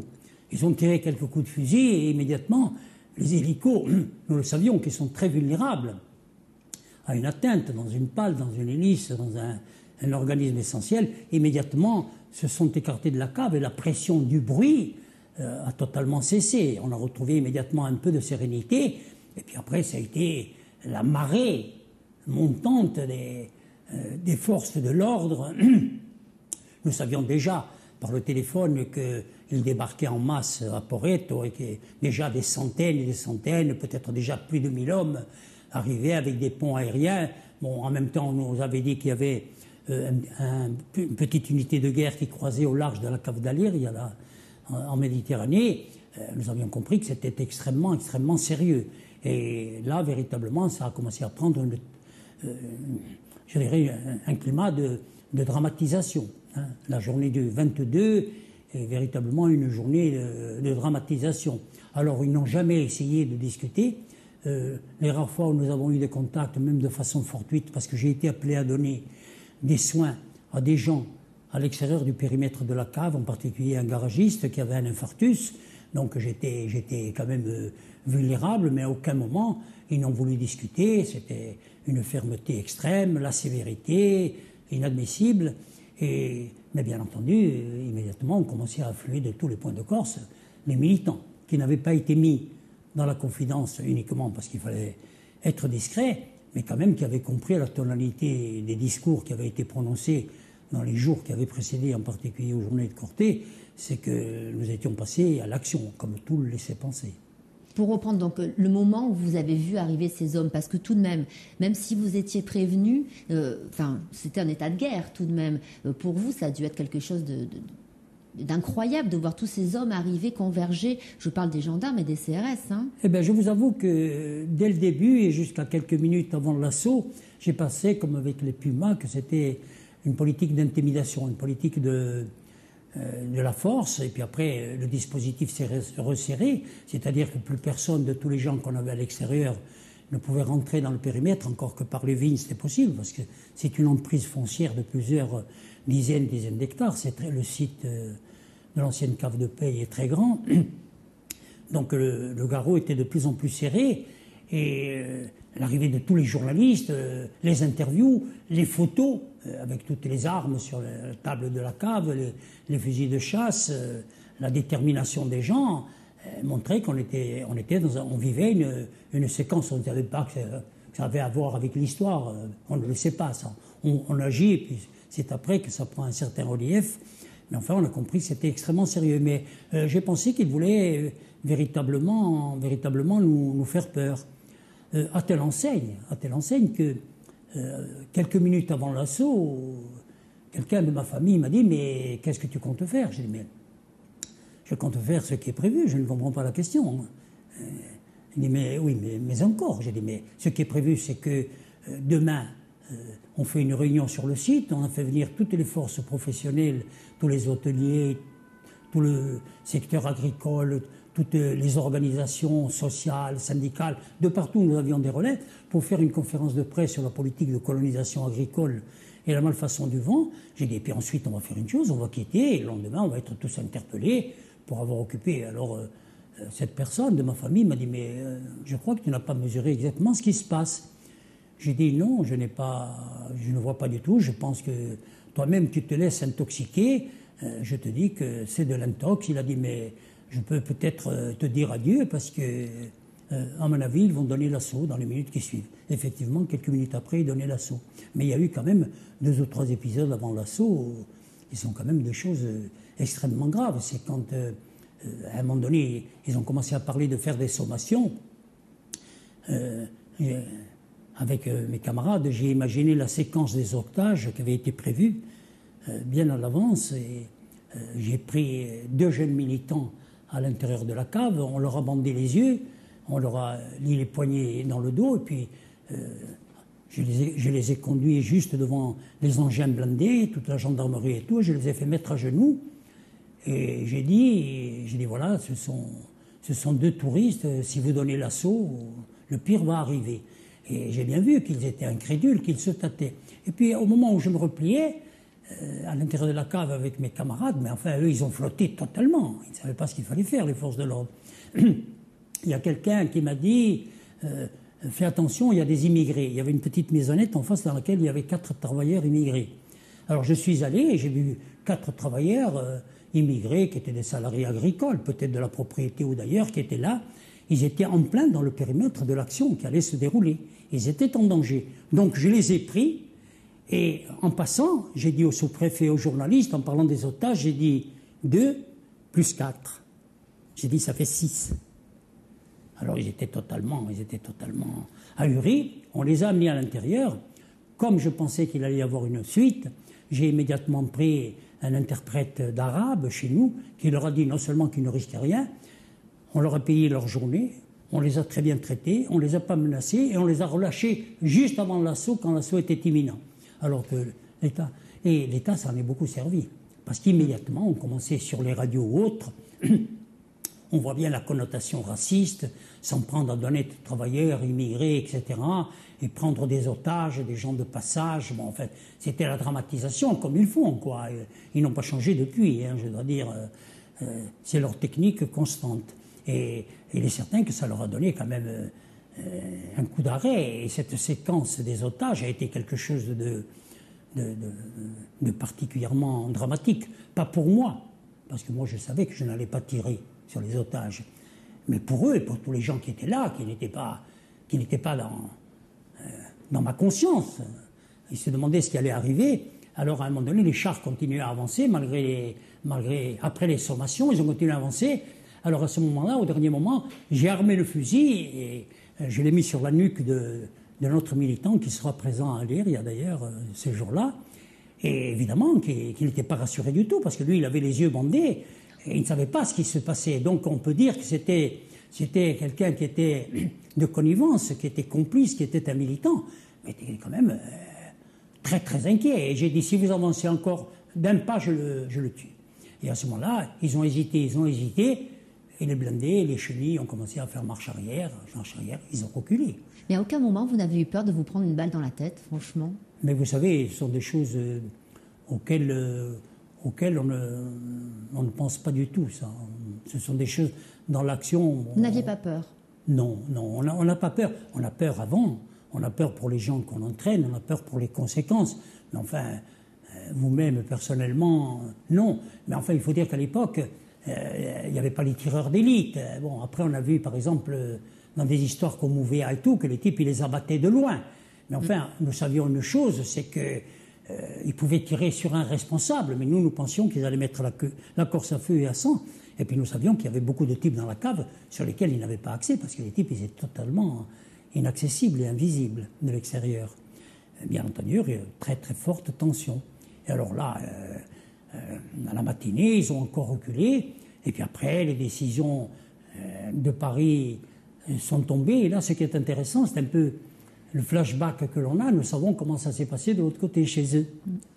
Puisque euh, Poniatowski a dit à M. Dominati, qui est un compatriote, lui a dit, eh bien, euh, tu vois, euh, on a bien fait de ne pas t'écouter, parce que l'autre avait dit, attention, c'est dangereux, euh, ça peut dégénérer en Corse. Il dit, tu t'es trompé parce que ils viennent de sortir de la cave avec un drapeau blanc. Et puis tout de suite après, euh, euh, on les a informés qu'un gendarme avait été tué, puis un moment après, deux gendarmes avaient été tués, et Poniatowski était blanc, désemparé, parce que l'État, pour nous, ça a été une surprise. Mais pour lui, ça a été une très très grande surprise. Et le sous-préfet m'a dit, devant témoin au dernier moment, euh, docteur, j'espère que vous êtes conscient de ce que vous faites. J'ai dit, je suis parfaitement conscient. Il dit, on va donner l'assaut avec les moyens de la loi. J'ai dit, je connais, je connais les sommations, etc. Il dit, euh, je vous prierai quand même de vous rendre. Vous avez fait votre prima donna. Euh, vous êtes quelqu'un connu maintenant dans le monde entier. On parle de vous, donc vous êtes satisfait, mais vous savez bien que vous allez vous rendre et vous savez bien que vous n'allez pas tirer. Et je lui ai dit au sous-préfet, j'ai dit, monsieur le sous-préfet, j'espère que vous ne le pensez pas. J'ai dit, si vous rentrez dans la cave et que vous vous servez d'armes, véritablement, nous allons riposter. Et c'est là que ce qui est intéressant, c'est le déroulement de la séquence dramatique, c'est que quand il donne l'assaut, moi je suis devant la cave, je suis euh, derrière, derrière un véhicule avec euh, quelques types qui m'accompagnaient, et euh, quand il donne l'assaut, ce qu'il y a de, très très important, c'est que euh, euh, on sent bien qu'ils hésitent, mais ils veulent tester la capacité, la capacité de résistance. Et à ce moment-là, ils commencent à tirer. Les films sont précis. Ils ont tiré pendant 52 secondes. Nous n'avons pas riposté par un seul coup de fusil de chasse. Ils ont juste employé quelques grenades lacrymogènes, très peu. Mais nous, on sentait que les balles sifflaient de partout. D'ailleurs, la commission d'enquête après l'a montré que la façade était criblée de balles. Il n'y avait qu'eux qui utilisaient euh, ce type d'armes. On a entendu les rafales d'armes automatiques qui ont tiré. Et je me suis retourné et c'est là que j'ai vu un militant qui avait un pied arraché. Euh, moi, j'ai pensé que c'était une grenade qui lui avait arraché un pied. Et à ce moment-là, euh, immédiatement, nous avons riposté. Mais 52 secondes après qu'ils aient donné l'assaut en utilisant des armes. Voilà. Vous pensez- c'est là, là, ça a été véritablement une séquence ultra dramatique. Pourquoi? Parce que les forces de l'ordre étaient totalement désorganisées, complètement. Hein Et euh, complètement paniquées. Il paraît même que les gendarmes ont refusé de donner l'assaut. De... Certains gendarmes, Il a été dit étaient hésitants, mais ça on l'a dit a posteriori. Mais surtout, les gendarmes se trouvaient mélangés à des dizaines et des dizaines de militants qui avaient tous à la main des carabines Winchester et tout. Ils étaient euh, mélangés les uns sur les autres. Et là, ça risquait véritablement de tourner au carnage. Mais eux, ils étaient totalement la mort des gendarmes. Et moi, immédiatement, on m'a appelé dès qu'il y en a un qui a été euh, atteint très grièvement. D'ailleurs, il devait décéder. Immédiatement, j'ai quitté la cave. Je suis parti devant. Il y avait une ambulance militaire. Je lui ai donné les premiers soins. Mais j'ai vu, euh, j'ai vu que l'homme expirait. Immédiatement, on a chargé un autre gendarme. Et on, est rentré dans la cave avec ça. Et il y avait, dans, la, cave, il y avait une atmosphère d'émeute. Il y avait une atmosphère d'émeute due au fait que d'abord, euh, ils avaient vu euh, notre militant qui avait eu un pied arraché. Ensuite, ils voyaient bien que l'assaut était donné et que l'assaut et la disproportion des forces montraient une volonté de traiter le problème euh, uniquement par une solution de force, sans aucune négociation. Et quand ils ont, on a amené les deux gendarmes, ils ne savaient pas que les gendarmes agonisaient. Et j'ai dû m'employer très très fortement pour qu'il n'y ait pas encore, je dirais, des exactions. Alors je leur ai dit, j'ai dit, mais ces hommes sont en train de mourir, euh, euh, laissez-les mourir en paix. Et effectivement, ils ont, ils ont expiré. Et quand, euh, quand l'ambulance les a ramenés, les a ramenés dans les, je dirais, dans les lignes de l'État, auprès du sous-préfet ou autre, euh, évidemment en face, euh, le ton a changé, c'était l'effondrement total. Qu'est-ce qu'on peut faire? Il faut éviter, il faut arrêter. Cette folie, j'ai dit, je regrette vivement que vous n'ayez pas eu un peu plus de, un peu plus de lucidité euh, il y a une demi-heure ou il y a une heure, parce qu'on aurait pu éviter tout ça. Et c'est là que euh, il y a eu une période extrêmement trouble. Nous, on était confrontés à à une problématique très sérieuse. C'est que moi, je savais qu'il fallait que j'assume. Je savais qu'il fallait que je me constitue prisonnier. Euh, je savais qu'il fallait que je rende compte. D'abord, parce que j'avais fait quelque chose de grave. Parce qu'il y avait mort d'hommes. Je les ai vus mourir. Donc, euh, ils n'étaient pas blessés. Ils étaient, morts euh, tout de suite au décours de l'assaut. Et aussi pour défendre les idées que je portais, et l'opération et les idées que je portais avec mes camarades. Bien entendu, il ne fallait pas faire prendre au piège les dizaines et dizaines de militants qui étaient là avec leurs armes ou autres, enfin, devant tout le flottement qu'il y a eu dans l'appareil d'État. À mon avis, euh, le fait de la détermination des gens de la cave a joué beaucoup. Et puis, ils ont été pris à partie aussi par des tirs à l'extérieur du périmètre de la cave de gens dans les vignes qui ont commencé à leur tirer dessus. Ça fait que ça a permis à l'essentiel du commando de s'évader avec un camion dans une séquence désormais célèbre euh, où, ils, où ils sont partis, bon, avec toutes leurs armes et autres. Et moi, je me suis constitué prisonnier. On m'a immédiatement emmené au camp de Borgo, où j'ai pu apprécier ce que c'est quand on tombe entre les mains des gardes mobiles et gendarmes, surtout quand on est tenu pour responsable de la mort de deux d'entre eux. Et ainsi a commencé le périple de la Cour de sûreté de l'État. Même si vous êtes médecin, vous avez déjà confronté la mort, mais cette fois-là, c'était différent. Ces hommes qui étaient en train de mourir, c'était votre responsabilité aussi. Qu'est-ce que vous ressentiez? Mais ce que je ressens simplement, je pense que euh, on est arrivé, on est arrivé euh, à cause de l'inconséquence de l'État. Je l'ai déclaré d'ailleurs deux minutes après sur les antennes. Vous le verrez sur les bandes. Euh, on est arrivé à une situation dramatique et je pense qu'il faut mettre un terme, à la situation dramatique parce que le but n'était pas de faire la guerre. Le but c'était de marquer une, volonté de, rompre le cercle colonial, la domination et en même temps aussi de mettre à, jour le scandale vitivinicole. Donc le but n'était pas de faire la guerre. Je comprends que c'est extrêmement grave, mais euh, on m'interviewe tout de suite à ce moment-là, immédiatement. Quand l'assaut est fini et que j'ai remis mon fusil à quelqu'un de ma famille, et euh, je dis textuellement, euh, ce qui est d'important aujourd'hui, c'est qu'un pas grave a été franchi et que désormais, il faudra en tenir compte. Voilà ce que j'ai dit. Donc je suis tout à fait conscient. Mais après, euh, quand le drame est arrivé et que vous êtes un responsable, il faut assumer. Ce n'est pas l'heure euh, euh, des émotions, ce n'est pas l'heure, euh, je dirais publiquement, des effusions. Vous êtes un responsable, il faut assumer. Moi, j'ai assumé d'emblée. Vous disiez c'était impossible d'abdiquer. Est-ce qu'il y avait comme un esprit de résistance à ce n'y moment-là? il y avait pas un esprit de résistance, il y avait un esprit de résistance acharné. Je vous avoue que même si je n'avais pas été aussi déterminé, à mon avis, les gens ne m'auraient pas suivi. Parce qu'il y avait une volonté euh, d'arrêter l'État dans cette spirale, parce que euh, on comprend bien, c'est que dans les années qui précèdent, les manifestations sont interdites, sont réprimées très sévèrement. Les arrestations ont lieu au décours. La responsabilité est collective. Les amendes sont fortes, euh, etc. Les gens sont privés de leurs affaires. On ne peut plus, on peut plus manifester. On ne peut pas gagner des élections tellement le scandale est grand. Euh, je dirais, de la corruption des urnes par la fraude électorale qui y sévit. C'est-à-dire qu'il n'y a aucune possibilité de se défendre. Et vous verrez, l'histoire le montrera, c'est que malheureusement, il y a des parallèles avec la situation d'aujourd'hui.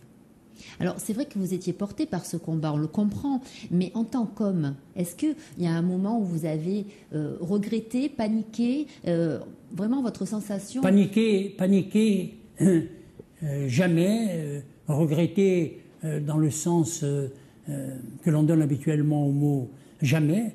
Par contre, dès que j'ai été seul, loin du tumulte et du fracas, euh, immédiatement, euh, j'ai réfléchi, j'ai réfléchi aux victimes, j'ai réfléchi aux conséquences, j'ai réfléchi à leur famille et tout le procès l'a montré, etc. Et par les attitudes que j'ai eues, par les déclarations que j'ai faites, qui ont été répercutées à l'extérieur, parce que les textes passaient par tous nos avocats militants qui étaient mobilisés, j'ai fait passer euh, des mots d'ordre, je dirais, euh, d'apaisement. Mais vous avez bien vu que ça n'a servi à rien, puisque Bastia s'est embrasé, qu'il y a eu encore euh, des victimes euh, et le recours, euh, le recours aux armes. Donc, euh, non, la Corse était arrivée à un point de rupture. La seule chose qui pouvait changer les choses, la seule chose, c'était si simplement l'État avait dit écoutez, vous avez commis une action illégale, nous allons poursuivre euh, ceux qui véritablement ont fauté, tant les banquiers que les bénéficiaires de la malfaçon du vin.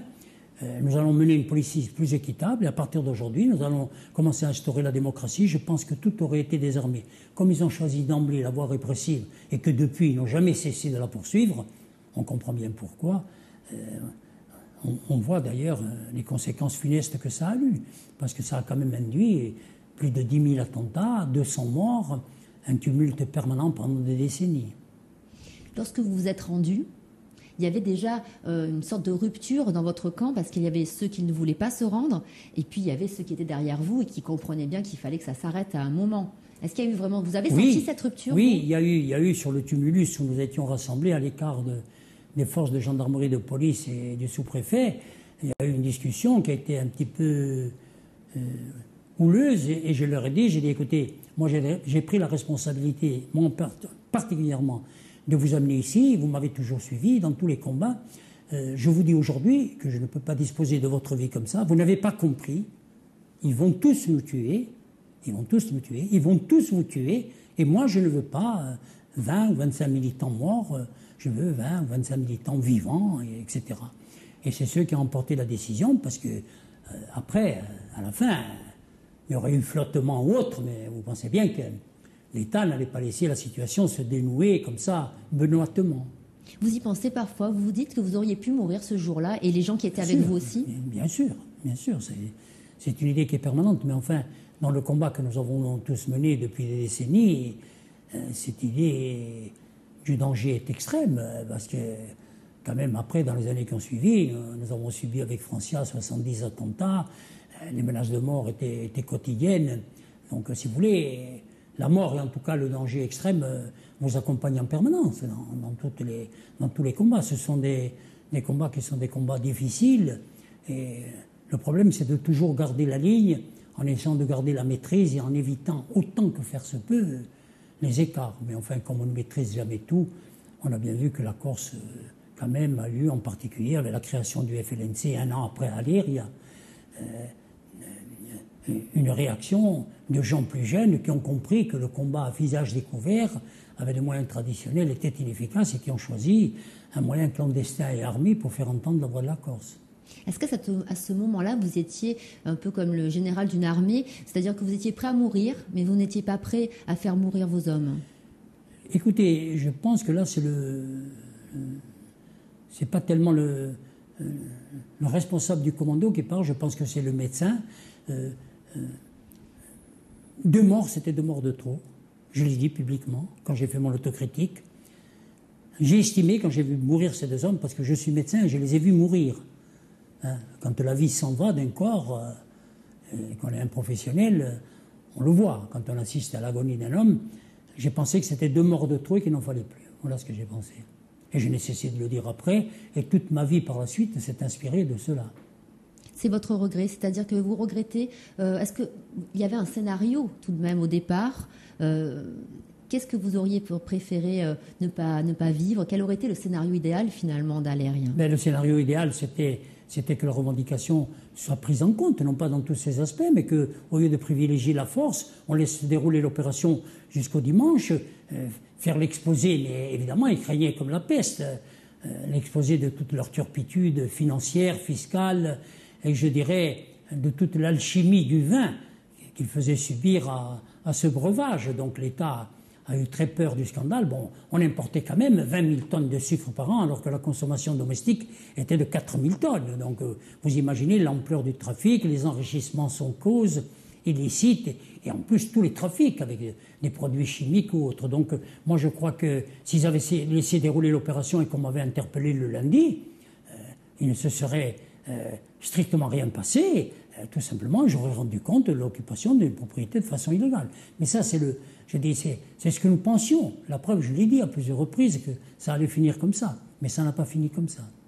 Je voudrais revenir sur. Euh, euh, aujourd'hui, j'imagine que vous y pensez souvent à Aléria. Non, c'est quelque chose qui est resté ancré à jamais euh, dans votre mémoire. Qu'est-ce que, que, quel est le moment que vous vous rappelez le plus? Quelque, Je ne sais pas s'il y a un moment qui vous est resté le plus, le plus, le plus gravé. Le moment le plus grave, c'est quand j'ai compris, quand l'assaut a été donné, euh, que l'issue inévitablement allait être sanglante. Ça a été le moment le plus grave.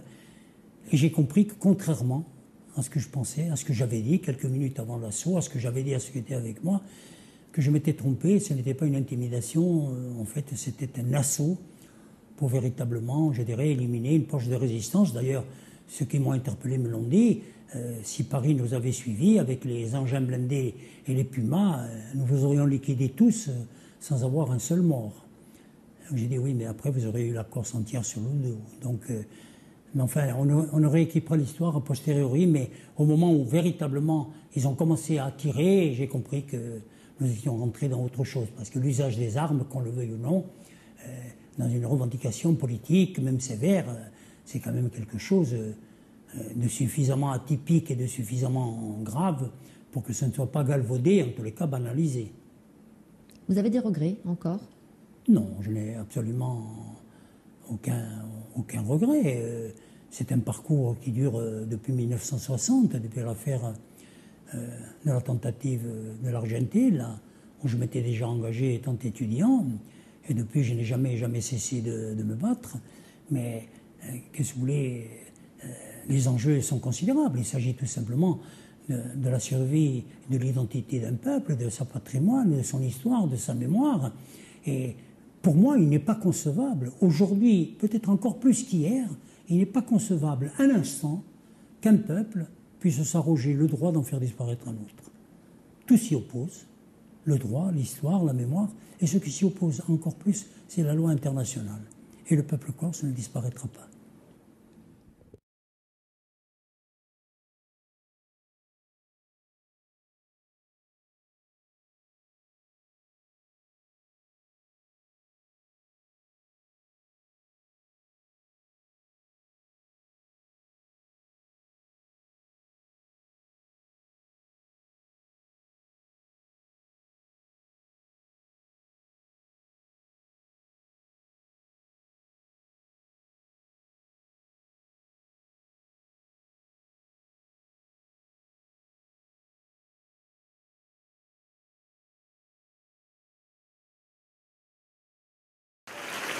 Buonasera a tutti e a tutti.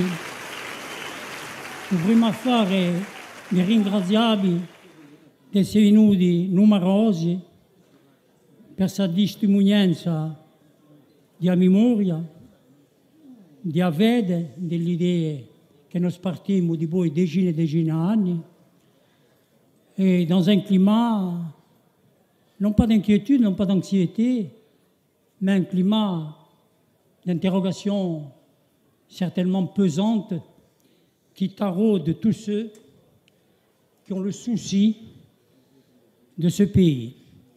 On a demandé aux premiers militants qui étaient dans la cave le matin de venir ici.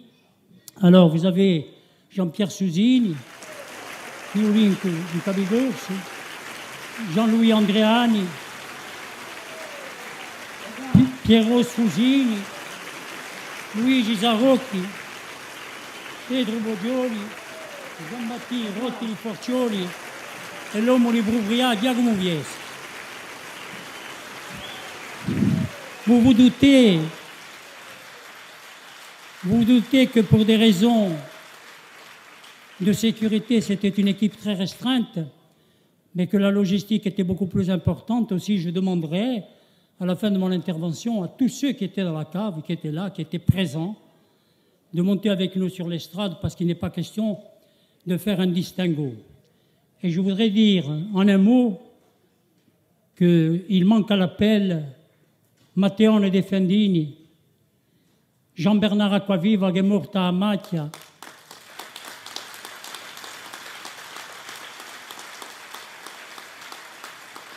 atteint d'une affection hémopathique grave. Il n'a pas pu se soigner. Charles Souzine, qui nous a quittés il n'y a pas longtemps. Augustin Tiroloni, le militant de Bastenica. Antoine-Marie Vittori, Fiumurbaccio. Gilbert Cazzarelli, Fiumurbaccio et Marcello Lorenzoni. Il n'y a pas de distinguo, il n'y a pas de démarche solitaire, il n'y a pas de prétention. On n'a jamais donné de leçons à personne.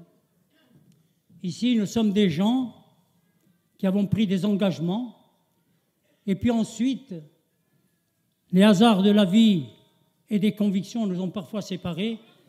Cette stèle n'a pas la prétention de figer l'histoire, de ressembler à Ponteno, et n'a pas la volonté de sombrer dans un remake douteux pour dire euh, nous nous y étions, nous nous étions bons, euh, nous nous sommes des patriotes.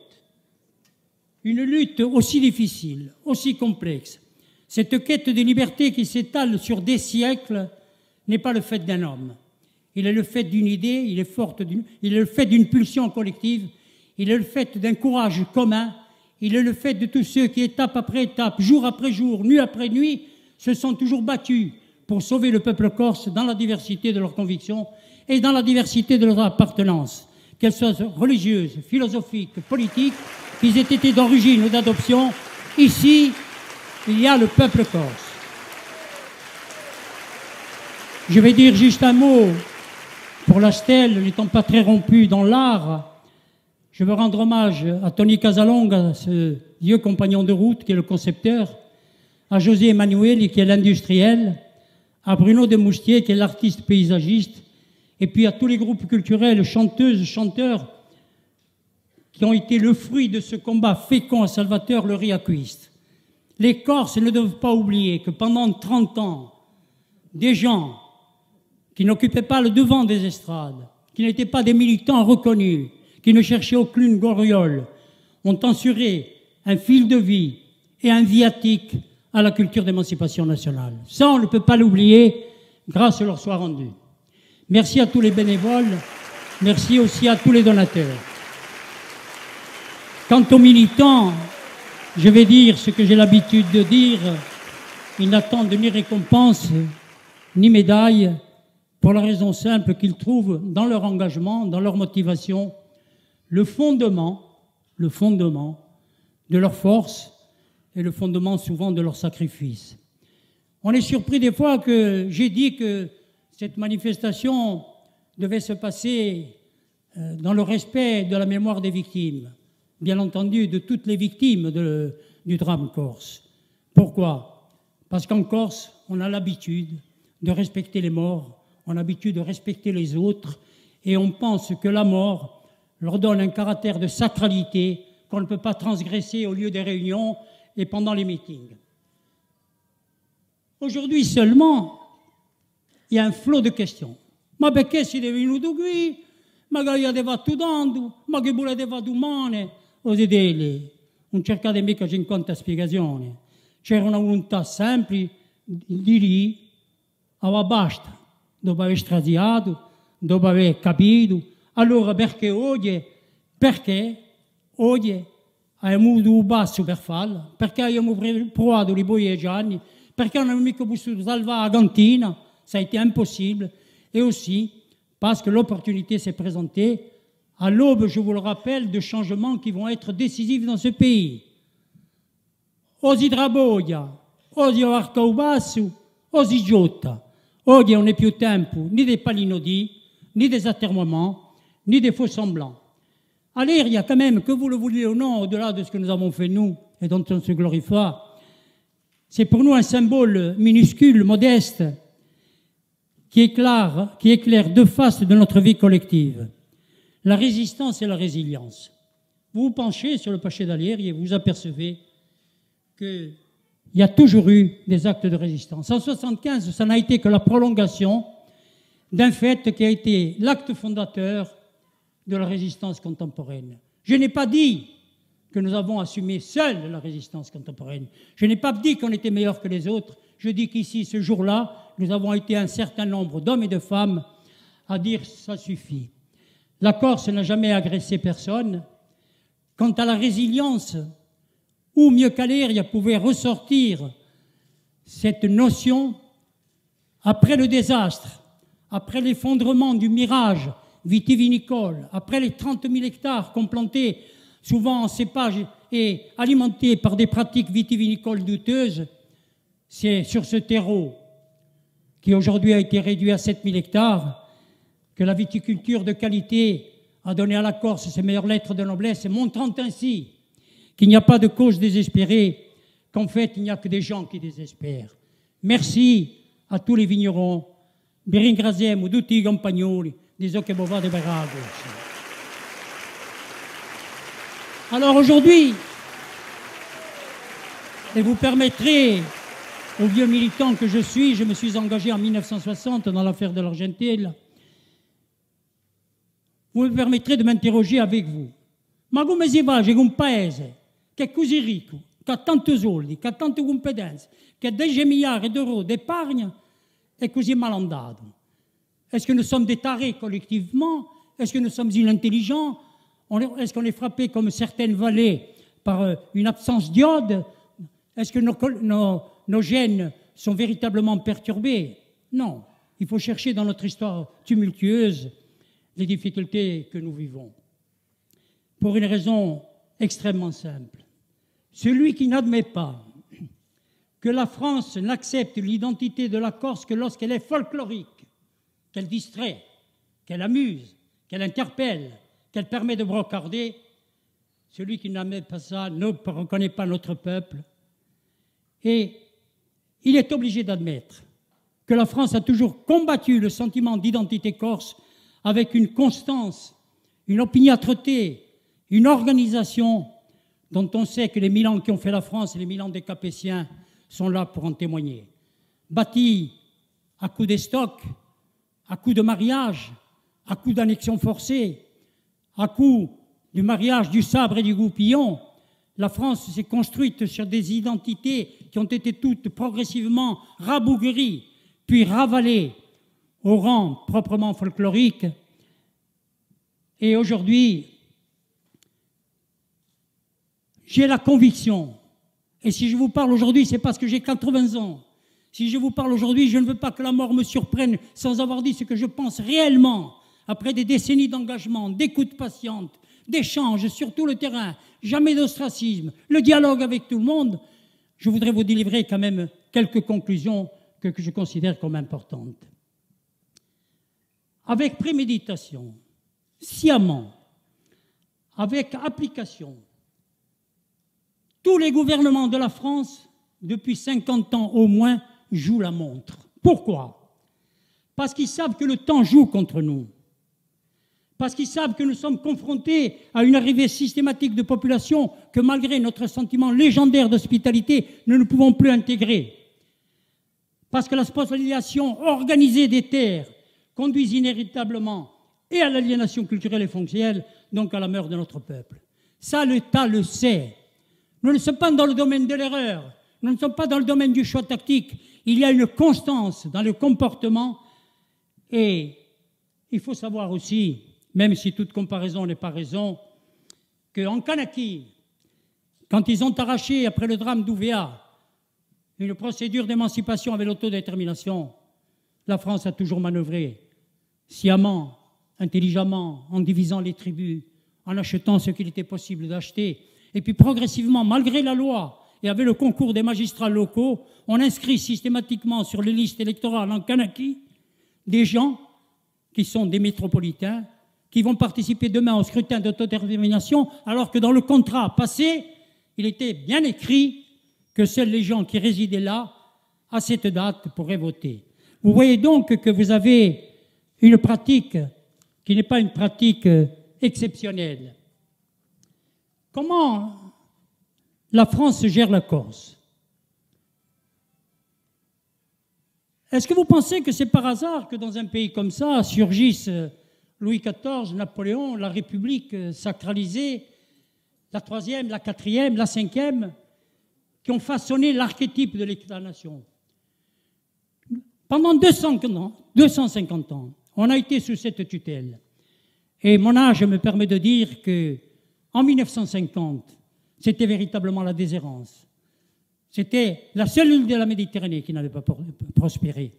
C'était véritablement des champs de ruines. C'était le découragement. C'était l'exode organisé.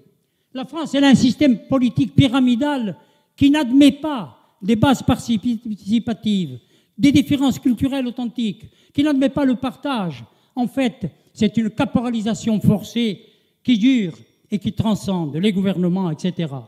Et nous sommes une exception, je parle sous le contrôle de notre ami Henri Malos, président du Conseil économique social européen, qui le dit assez souvent dans toutes ses interventions. La France est une exception en Europe démocratique qui foisonne de ses co-officialités. Elles sont tellement naturelles que les peuples parlent la langue de la tutelle et parlent leur propre langue, qui foisonnent de régions à statut spécial, qui foisonnent de landaires, de dévolution, d'indépendance récente en construction, en construction qu'il s'agisse de la Catalogne et de l'Écosse, la France est le dernier élève et le mauvais élève de la classe. 250 millions d'Européens vivent dans le fédéralisme et dans les autonomies. La France avec la seule Grèce est rétive. Elle vit comment? Elle est bardée dans son conseil constitutionnel de ses barrières. Les Français, la langue de la République qui a été choisie précisément pour éviter la signature de la charte des langues minoritaires et pour ne pas permettre à des langues dites régionales de s'exprimer publiquement, la France s'atrophie, s'essouffle, peine dans une conjoncture internationale, c'est vrai, difficile. Elle se claque mûre dans l'immobilisme et surtout dans l'autosatisfaction. Elle a besoin, un vital d'oxygène pour son peuple. Par contre, elle préfère la naphtaline qui est mortifère et les jeux courtisans réglés comme des balais à l'Élysée ou autour des lieux de pouvoir. Mais tout colonisateur a besoin d'appui sur place. Il a besoin de courroies de transmission. Et ça, ça a été une constante de l'histoire de tous les peuples colonisateurs et de tous les peuples colonisés. La Corse n'a pas fait exception. Et c'est ainsi qu'après les Génois, il a prospéré ici un système politique qui est un système qui est une mauvaise adaptation à des conditions socio-économiques difficiles, et vraisemblablement nous en, aurions fait partie il y a deux siècles, qui disait que le protecteur avait tous les droits, que les citoyens n'existaient pas, et que les intermédiaires devaient être récompensés à mesure de la fidélité des bases populaires et à la mesure de, de tous les avantages qu'ils pouvaient amener à l'État-nation. Et qu'est-ce qui s'est passé? Il ne faut pas prêcher la haine. Vous lisez simplement après Ponteno la répression. Je n'en dis pas plus, mais la Audremo. Je ne vous parle pas de la loi d'Exxon. Je ne vous parle pas de la mise en valeur agricole. On a voulu opposer les Corses, dire les Corses étaient contre les rapatriés, contre les Français, euh, contre un tel, maintenant contre les Portugais. Non, le fond du problème, il n'est pas là. La Corse, elle entend Corse, elle attend le rester. Mais je voudrais rappeler à ceux qui ont la mémoire courte ou qui feignent d'oublier certaines choses que en 1972, ils avaient fait un projet de développement et un schéma d'aménagement qui prévoyait la création de 200 000 lits de tourisme. C'était la version d'Igor Sivor. Voilà ce qui était écrit. Et voilà contre quoi on s'est insurgé. Et voilà pourquoi on a eu raison de s'insurger.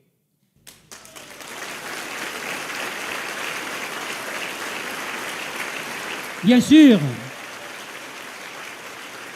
quand il y a eu la première manifestation d'opposition publique à l'Argentine, les gens ont été un peu surpris. Mettre le général de Gaulle en, échec n'était pas commode. Et puis après, vous connaissez tous les épisodes du mouvement, de l'Arc, de l'Iberbou. On ne va pas refaire cette histoire-là. Et puis vous connaissez Aléria en 1975. On ne va pas réécrire l'histoire d'Aléria. Mais je ne peux pas oublier que trois jours après, tout de suite, au lendemain, il y a eu les émeutes de Bastia, qu'il y a eu encore des gens des forces de l'ordre qui ont été tués, que la ville a été mise en état de siège, que l'on tirait à la 12-7 sur les façades des maisons, et qu'un militant, qui était jeune, avec lequel j'étais en prison, qui n'avait aucune responsabilité et qui n'avait absolument pas tiré dans cette affaire, Serge Kachar avait été écopé de 10 ans de prison. Je l'ai toujours défendu. Je l'aurais défendu d'une autre façon s'il était avéré qu'il était coupable parce qu'on ne se désolidarise pas à l'heure des difficultés. C'était un patriote. Et vous avez été surpris qu'en 1976 naisse un mouvement clandestin. Mais comment voulez-vous que ne naisse pas un mouvement clandestin?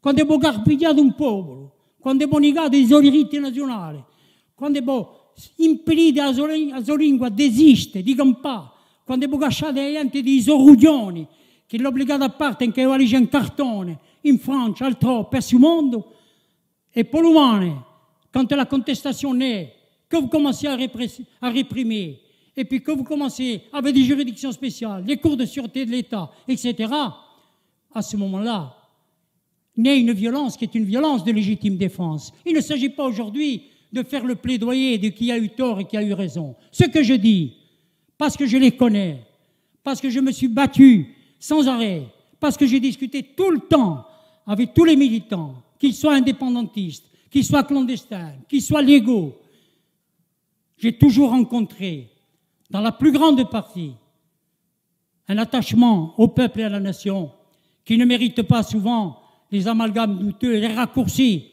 Il y a eu des dérives. Je ne connais pas un pays au monde qui se soit libéré dans des luttes d'émancipation nationale où il n'y a pas eu de dérive. Alors on dit la gauche a fait certaines réformes. C'est vrai. De 1980 à 2010, il y a eu trois statuts. On les doit tous les trois à la gauche. On a eu la libéralisation de l'information. On a eu la création de l'université de Corté, que Giscard avait déjà euh, entamée. Nous avons eu euh, aussi d'autres opérations qui ont été importantes, la création de la SAFER, la départementalisation moins. Elle a été faite dans un but partisan, c'était de nous diviser et de susciter les, appétits euh, des notables qui voulaient se claniser. Nous devons beaucoup de choses à la gauche. La suppression de la Cour de sûreté de l'État, c'est sûr, l'amnistie, la libération des prisonniers. Mais comment ça se fait que ça n'a pas marché? Tout simplement parce que celui qui garde les manettes de la commande, celui qui garde les pouvoirs de légiférer, celui qui garde les pouvoirs de police, celui qui garde les pouvoirs financiers, celui qui garde les pouvoirs de contrôle, celui qui assujettit très souvent les élus par des procédures centralistes contraignantes, celui-là est le maître du jeu. Ils n'ont jamais lâché une parcelle d'autorité, si ce n'est pour ce qui était marginal. Et dans ces conditions, il ne faut pas être surpris que la Corse n'ait pas prospéré.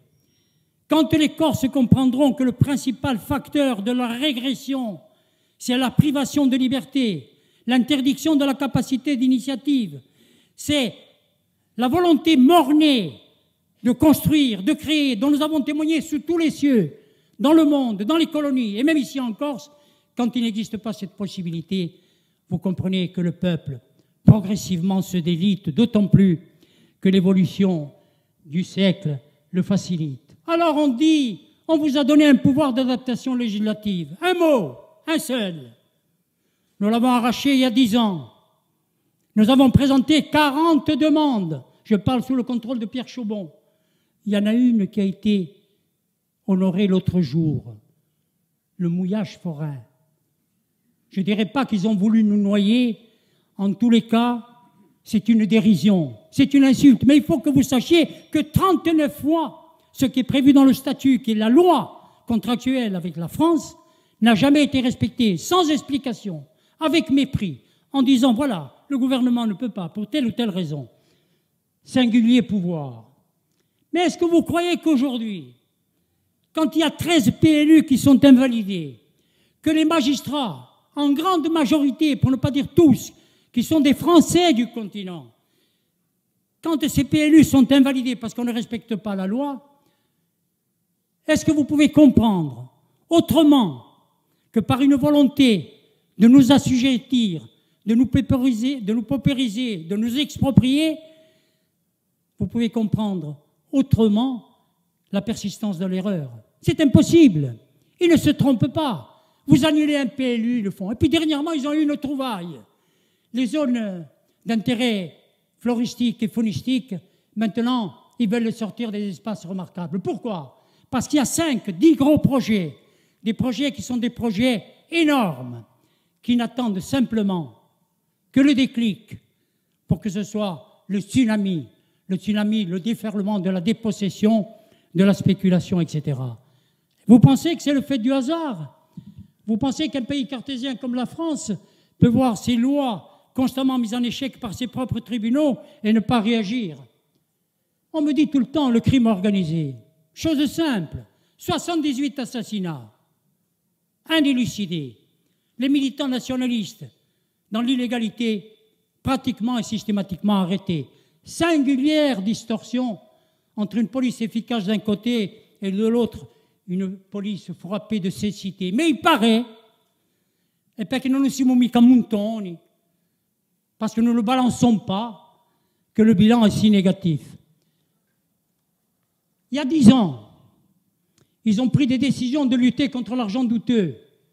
On a nommé l'autre jour un procureur financier à Bastia, Manco a vergogna, mais qu'ils présentent leur bilan à l'opinion publique. Et le procureur général Bernard Legras, je le cite aujourd'hui parce qu'il n'est pas là, le procureur général Legras, je le cite, avait mis en chantier en 1998 l'éradication du grand banditisme. Il me l'a dit la veille de son départ. 220 chantiers ont été ouverts et quand ces affaires ont été menées à bonne fin par la justice, Siméon, vous n'aurez plus de raison de vous inquiéter, vous et vos amis, pour votre pays. Je peux vous dire, pour suivre quand même l'actualité politique et judiciaire, que les 220 chantiers sont restés à l'état de projet. Erreur d'appréciation ou simplement la volonté de laisser prospérer, prospérer le banditisme, de donner de nous une image déplorable, de laisser perturber la vie publique, de laisser le non-droit s'installer partout, par un amalgame de dire de partout, sur le continent, en France, en Europe, mais ils sont tous les mêmes, ils sont tous complices. D'ailleurs, ils ne s'en privent pas, bien entendu. Quand ils ont privatisé la SNCM, Qu'est-ce qu'ils ont fait? Ils l'ont donné à Veolia par Butler partenaire interposé dans un contrat éminemment douteux. Comme c'était prévu, ils se sont cassés la gueule à coups d'argent, d'argent, de centaines de millions d'argent euh, d'aide publique. Et puis, quand le désastre était avéré, ils n'ont pas eu le courage de parler aux salariés. Ils n'ont pas eu le courage de parler à la Corse. Ils ont dit on va trouver des solutions. Les solutions existent. Et ils nous ont amené à une grève inévitable des marins la veille de l'été, ruinant la saison touristique parce que tout simplement nous étions en conflit d'intérêts avec des intérêts plus importants que nous. Le port de Marseille, une période religieuse et véritablement nous avons été maltraités. Mais je crois que la plus grosse caricature, c'est les arrêtés Mio. Les arrêtés Mio, c'est quoi? C'est que le législateur nous avait donné les moyens maigres de protéger un petit peu nos, biens et qu'on nous l'a enlevé. On nous l'a enlevé. Mais en même temps, si vous n'êtes pas atteint de strabisme divergent, vous regardez et vous voyez que c'est la région de France, entre guillemets, hein, moi je dirais plutôt la colonie, dans laquelle il y a une déshérence des titres de propriété comme on n'en a jamais vu qu'un pays cartésien comme la France, le cadastre l'a laissé mettre en l'air totalement, créant des isanies, empêchant le développement, etc. Et puis après, ils se prévoilent de leur propre turpitude et disent, à partir d'aujourd'hui, ça suffit, nous allons mettre de l'ordre. Et mettre de l'ordre, pour eux, c'est quoi? C'est tout simplement de faire sauter ces deux dernières barrières. Les arrêtés Mio n'ont pas une vertu cardinale de nous permettre de devenir riches. Oui, nous voulons payer des impôts, mais dans le cadre de la compétence fiscale que nous revendiquerons, ces impôts serviront à financer les dépenses publiques, les dépenses sociales, les dépenses de formation des hommes. C'est ça que nous demandons. Ils ne veulent pas. Et vous savez, pour eux, l'enjeu financier, il est dérisoire. Quelques millions d'euros. Et voilà que des gens du secteur socio-économique, des gens comme Spadone, Louis Orsini, se sont attaqués année après année à ce dossier, l'ont présenté au Conseil des ministres de gauche, comme ils l'ont demandé, complètement clair sur tous les plans, qu'il a été adopté par le gouvernement, par Cazeneuve, qu'il a été adoubé, qu'il a été reconnu, qu'il allait devenir la loi, et que leur Conseil constitutionnel, comme d'habitude, a dit non, ce n'est pas légal. C'est-à-dire, elle vogliono diamo e rispondi. Non a mano appaggiano e di lastre vogliono voilà, e violate scutrade. Tous ces éléments montrent que la France poursuit encore sur une politique soutenue et réfléchie avec un seul but, éradiquer le peuple de ce pays parce qu'il est un obstacle à sa politique d'intégration forcenée et de colonisation. Et je peux vous dire que, avec tous nos amis, nous souscrivons à toutes les défenses des droits, qu'il s'agisse de la de LDH, de la GIRS. La sévérité et la répression sont réservées aux nationalistes et l'état de non-droit prospère avec les bandits. Et là, je voudrais juste vous citer quelque chose. C'est un truc de Jean-François Bernardini. Vous pourrez le lire dans une petite brochure dont je vous parlerai après, que vous connaissez certainement. C'est une brochure sur la non-violence. Et vous verrez un petit peu, euh, en règle générale, comment il procède.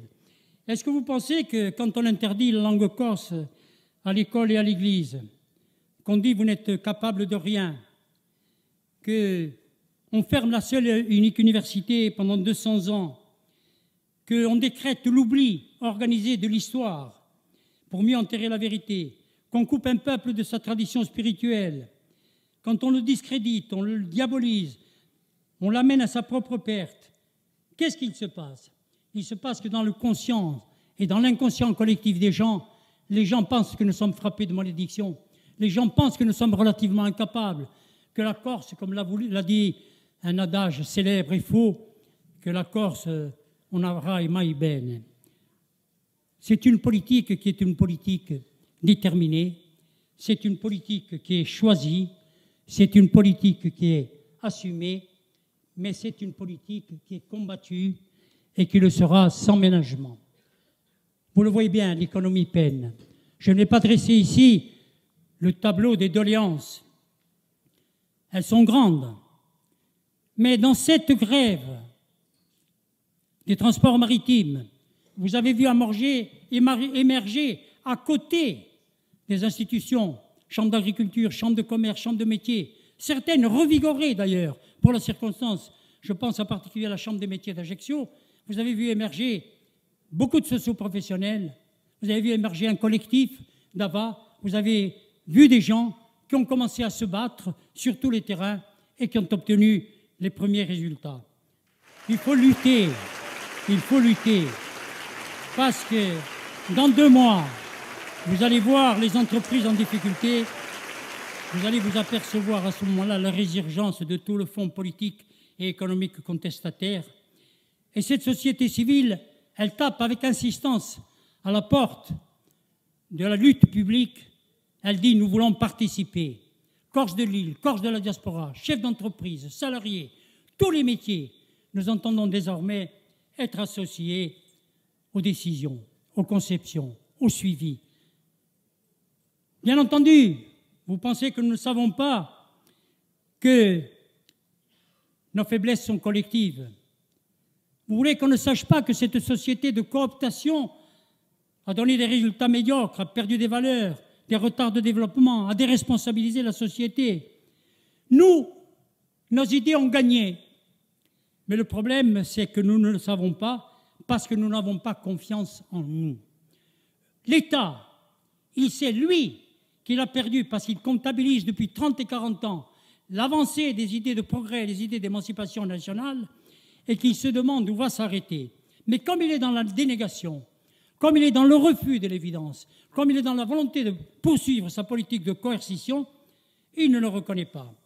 Alors ils me disent le suivant, mais il faudrait que les Corses se prononcent.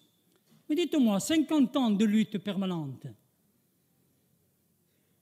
50 ans d'autodétermination dans tous les secteurs, 50 ans de combat pour tous les problèmes les plus élémentaires, depuis la langue, en passant par la terre, en passant par l'urbanisme, en Couliraz, qui a aussi le collectif de l'environnement et tous les autres qui se battent avec acharnement pour défendre nos terres.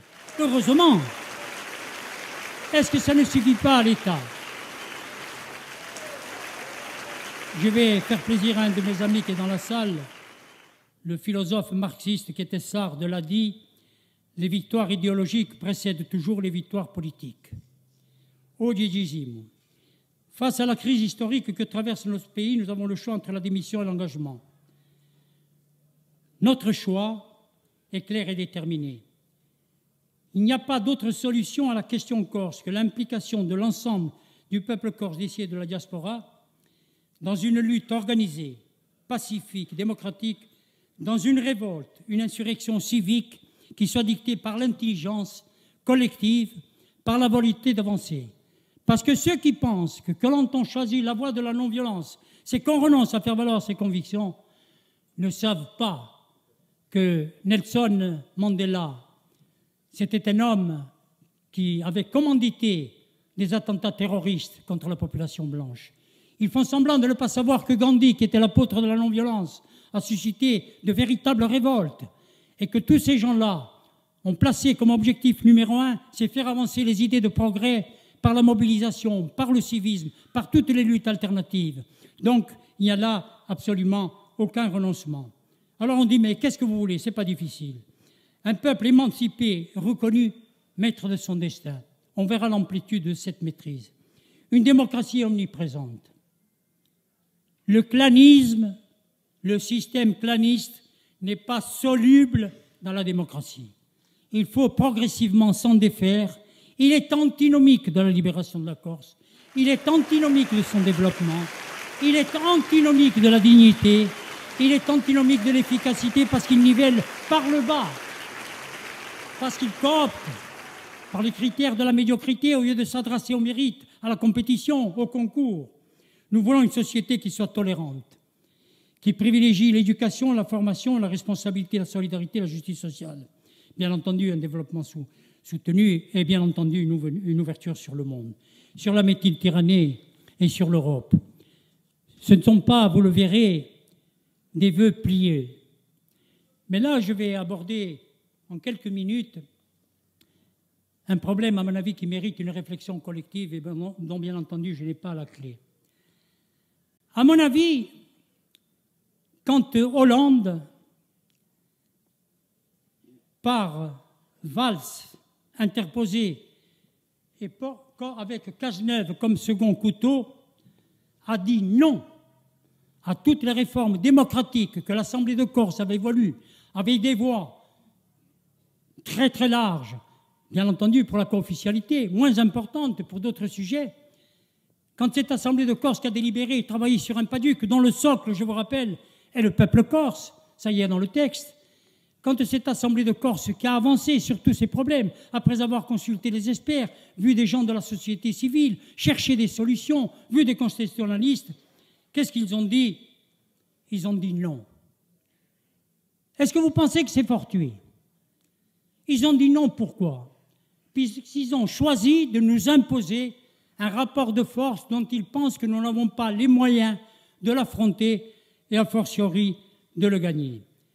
L'État a tué, discrédité, démonétisé ce processus en disant par anticipation au choix démocratique et donc aux conclusions euh, du dialogue. L'opinion publique n'y croit plus.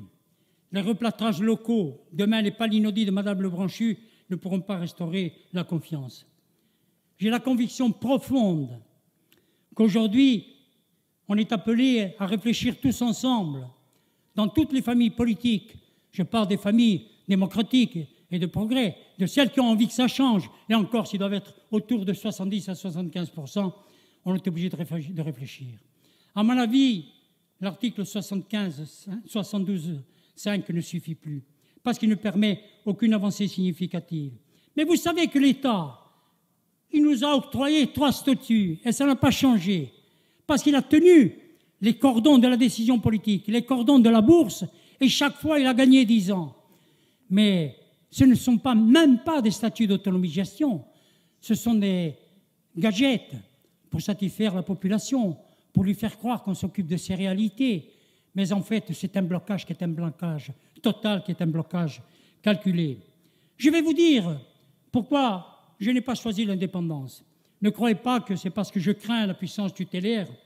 Je pense que nous sommes dans un siècle d'interdépendance, que les micro-États sont vulnérables et fragiles. Je pense que les Corses, actuellement, dans leur immense majorité, n'en veulent pas.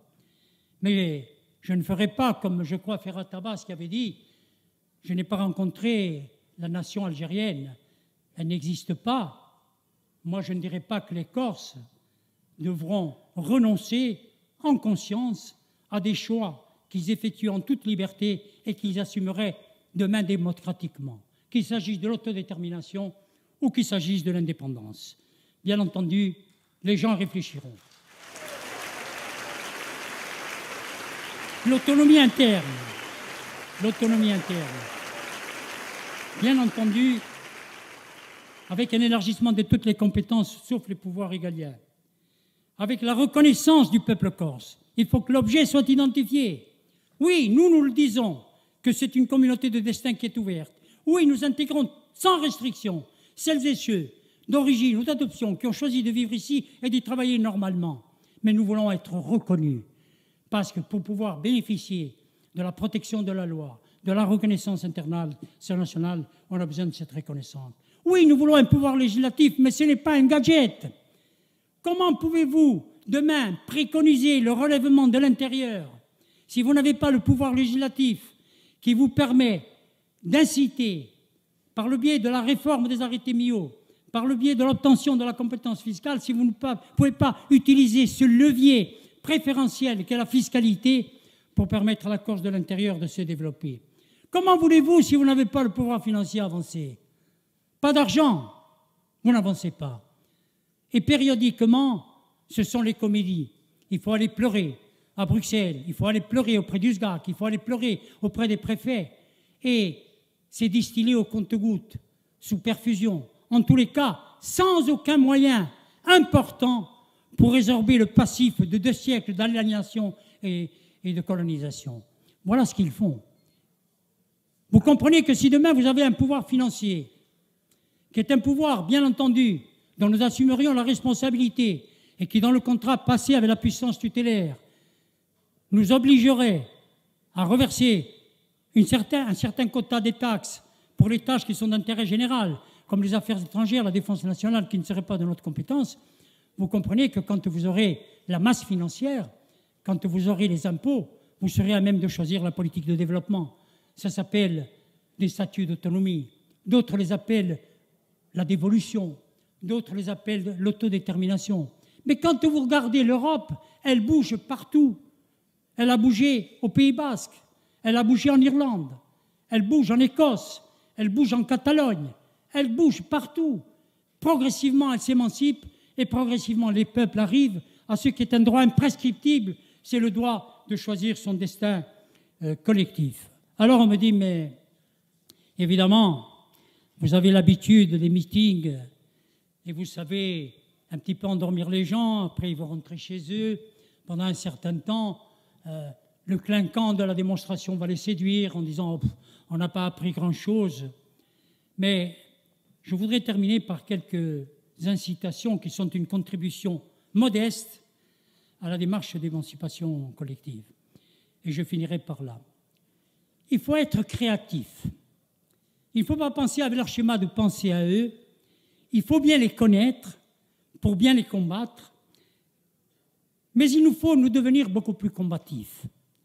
sur tous les terrains où les intérêts de ce pays sont en jeu, qu'ils soient économiques, sociaux, culturels, il faut être présent. Vuole fare la guerra, una guerra intelligente, politica, tecnica, senza violenza.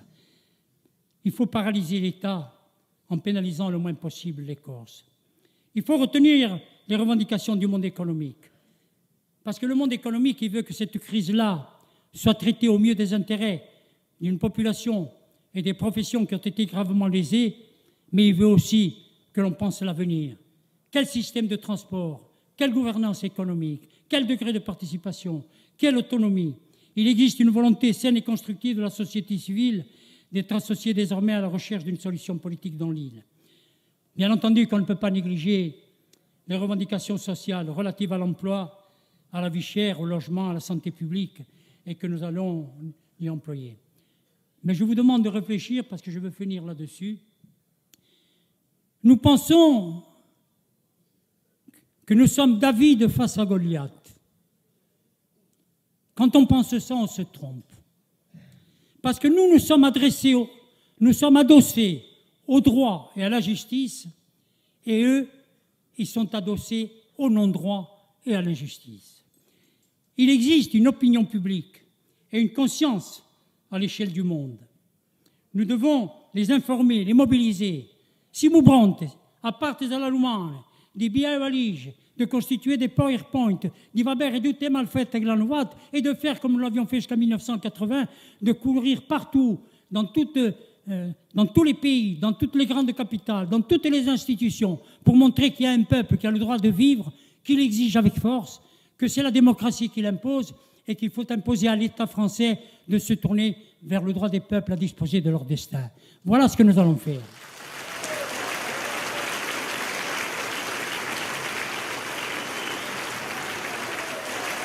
On va, bien entendu, dans cette lutte,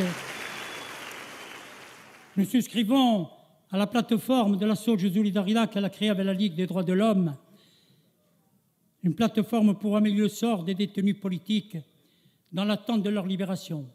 Parce que je l'ai dit et je l'ai écrit, les prisonniers politiques font partie du problème et ils feront nécessairement partie de la solution politique.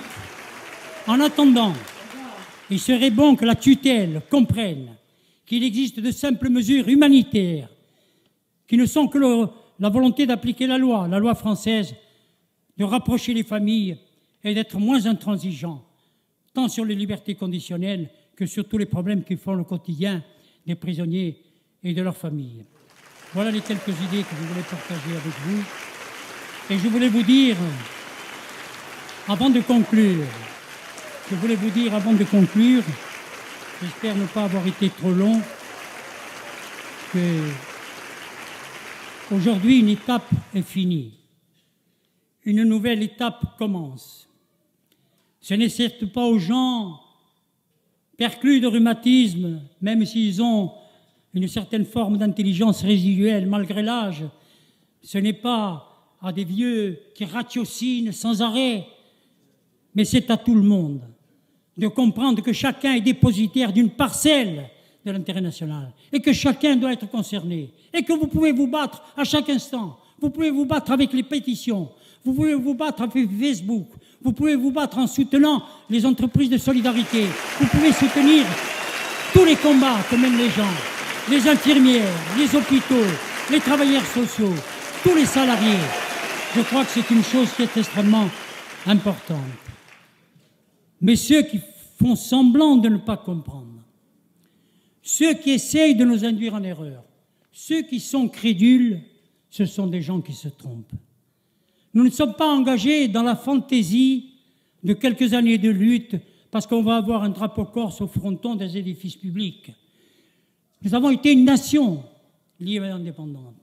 Nous venons dans le cadre de l'Europe actuelle un nouveau type de contrat qui nous permette d'être nous-mêmes, de légiférer, de choisir notre destin, d'organiser le développement économique, de veiller à l'équité. Alors, augursi, a parte dalla Lumani, abbiamo cominciato a batterci de un'altra maniera. Toutes les lottes que vous l'arrêtez quand vous êtes concerné, commencez chacun d'entre vous à lever le petit doigt, simplement en appuyant une pétition, en étant solidaire. Et vous allez voir qu'avec tous les collectifs économiques, au mois de septembre, nous allons commencer véritablement à poser les véritables questions sur les responsabilités de, je dirais, des désastres de la, de la desserte euh, sous perfusion, et que nous allons non seulement viser à en réparer les dégâts, mais que nous allons viser à imposer la participation de toutes les forces vives et de la société et des Corses de la diaspora à la définition de la nouvelle politique.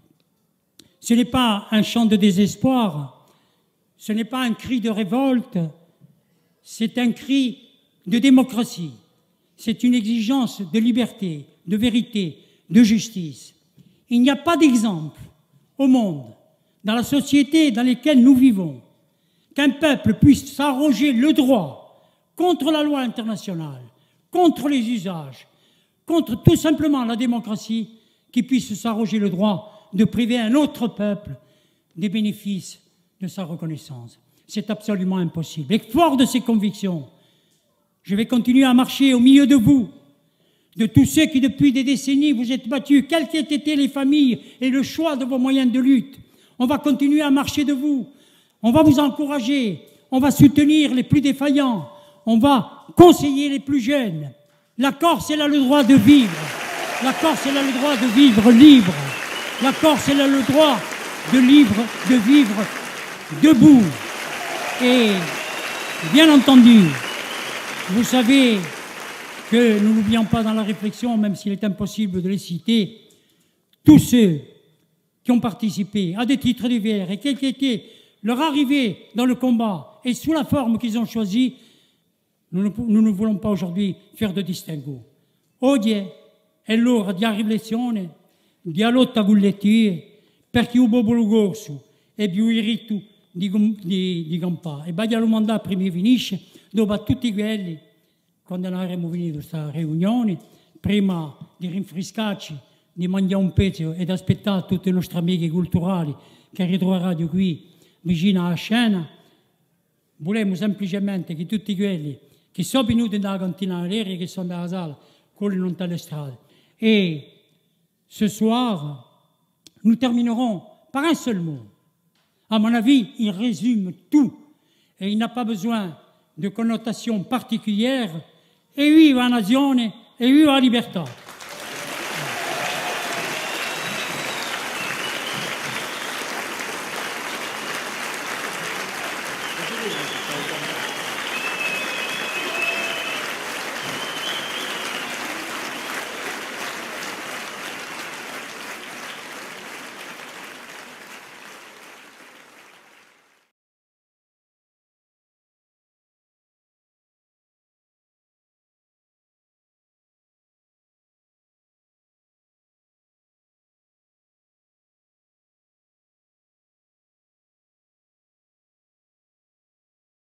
Mm-hmm.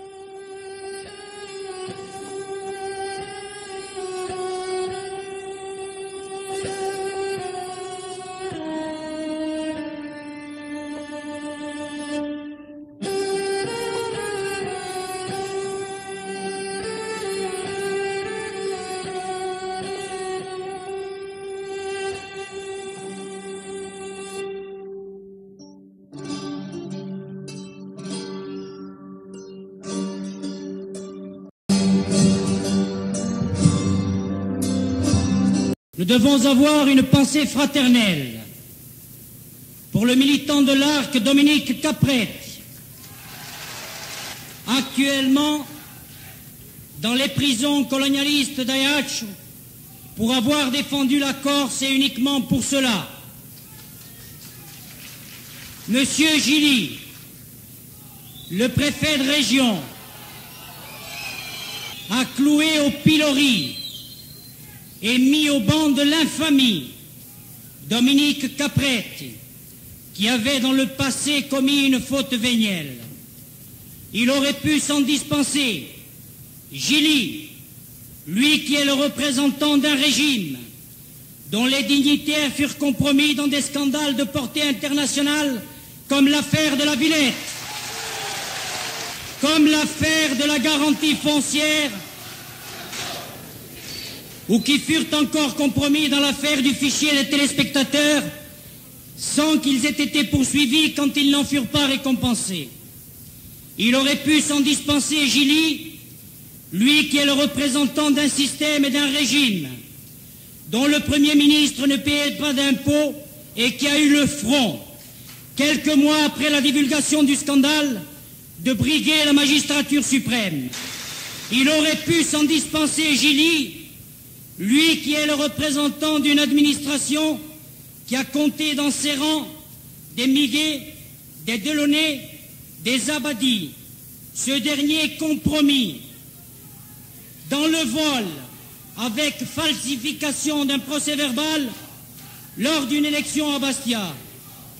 Il aurait pu s'en dispenser, lui, qui représente une administration qui couvre les escrocs de la Vinaccia et poursuit les patriotes. Il aurait pu s'en dispenser, Gilly, lui qui a eu comme compère dans l'administration préfectorale un Turon, qui est parti en laissant des clous dans toutes les boîtes de nuit d'Ajaccio, qui a profité de son passage dans l'île pour se faire donner une pension de 100%, et lui qui a touché comme pot de vin une villa à Porticcio. Gilly a suggéré de façon venimeuse que le passé de Caprette y expliquait ses choix autonomistes et son aptitude au coup de main entre guillemets. Il l'a malhonnêtement taxé de récidiviste, alors qu'un affichage, si tant il est qu'il constitue un délit, avoir la mensuétude dont bénéficient les chefs de clan dans ce domaine, aurait pu être à la rigueur un délit politique. Génie, de surcroît et de mauvaise foi, car il avait reçu de Paris des instructions précises lui enjoignant d'autoriser les militants de l'ARC à afficher ou à inscrire des slogans en vue du congrès de ce jour. Nous reviendrons plus loin sur cette affaire. Mais d'ores et déjà, nous pouvons assurer Madame Caprette et Isovioli de notre solidarité agissante, tandis que Dominique, dans sa prison, peut avoir la certitude lui, le militant irréprochable dont la présence aujourd'hui était indispensable et espérer que tous ensemble, et quels que soient les moyens employés, nous ferons l'impossible sous peu pour l'extraire de sa prison afin qu'il reprenne la lutte à nos côtés. J'en prends au nom du mouvement l'engagement solennel et je demande à ce congrès l'envoi dès demain matin des deux télégrammes suivants. L'un à Domenico Capret, prigio d'Aiaccio, soutien total, à presto. L'autre à M. Gabriel Gilly, préfet de région. Exigeons libération immédiate et inconditionnelle du militant de l'Arc Capret. Administration porterait responsabilité situation nouvelle découlant prolongation des tensions injustifiées. Nous devons aussi, en dehors de toute considération politique, remercier Michel Pierucci, maire de la ville de Corté, d'avoir mis une fois de plus à notre disposition et bénévolement le stade Santos Manfred de la Maison des Jeunes de surcroît, de surcroît, il nous a facilité en toutes choses les mille démarches indispensables à la réalisation de nos journées dont le succès, la qualité et la tenue rejaillissent sur le conseil municipal et la population cortenaise. Et maintenant, nous allons commencer la véritable intervention. Ceux qui avaient misé sur l'effondrement de l'arc seront déçus une fois de plus, car jamais le succès de nos assises ne fut plus éclatant, inchiffrable, jamais la densité ne fut aussi importante, et je le sens bien, jamais la chaleur communicative, la communion intense ne fut plus perceptible. Jamais aussi la rage de vaincre ne fut plus enracinée. Déçus seront ceux qui avaient spéculé sur notre lassitude engendrée par dix ans de luttes inégales contre le pouvoir colonialiste omnipotent et ses complices discréditer les clans, contre les forces de l'argent, terribles, aliénants, contre la répression sournoise, feutrée, avec ses paroxysmes, contre les pressions de toutes sortes, contre l'indifférence aussi, le fatalisme, le scepticisme de nos propres compatriotes, contre les mensonges et la calomnie. Déçus seront aujourd'hui ceux qui espéraient nous voir écuvés de baves, d'insultes, de haine engendrées par l'impuissance. Déçus seraient ceux qui, et je veux espérer qu'il n'y en a pas un seul parmi vous qui serait venu aujourd'hui ici comme à une fête ou un pèlerinage. Par contre, confortés, encouragés, soutenus, galvanisés, seront ceux qui ont conservé l'espoir, ceux qui dépassent leurs petits problèmes, leurs mesquineries, leurs états d'âme, ceux qui ont toujours lutté et devront lutter chaque jour plus durement encore pour sauver le peuple corse, ce peuple ballotté, souvent déboussolé, partagé entre des sentiments et des attitudes contradictoires, et qui côtoie quotidiennement les extrêmes. Il revendique l'identité culturelle et singe les pires modes importés. Il aspire à la dignité et il se vautre trop souvent dans la bassesse simultanément. Il peut témoigner d'un courage exceptionnel et d'une veulerie sans mesure concomitante. Il affiche un désir affirmé de spécificité et recherche parfois la sécurité d'un droit commun mortel. Il témoigne d'une volonté de changement radical et perpétue un clanisme qui le perd. Il a la volonté de se rééduquer, mais il porte trop longtemps encore des béquilles désormais paralysantes et qui ne sont plus nécessaires. Aujourd'hui, le temps des périphrases est révolu, comme est révolu le temps des adjectifs ajustés, des démonstrations savantes et parfois creuses, des querelles entre frères, quelle que soit leur appartenance. Révolu est le temps des acrobaties, des divisions, des concertations à Libye, des stratégies parfois contestables. Aujourd'hui, au nom de l'art que je voudrais vous imprégner de l'extrême gravité de la situation, disséquer celle-ci avec une rage froide et lucide, vous mobiliser et mobiliser à travers vous, qui en êtes la fraction la plus consciente, le peuple corse, notre peuple. Il est en danger de mort, donc il est en légitime défense. Cette lutte sera dure, peut-être longue, et si elle doit être sans pitié et sans faiblesse, elle ne supporte pas l'improvisation si elle veut être sanctionnée par la victoire.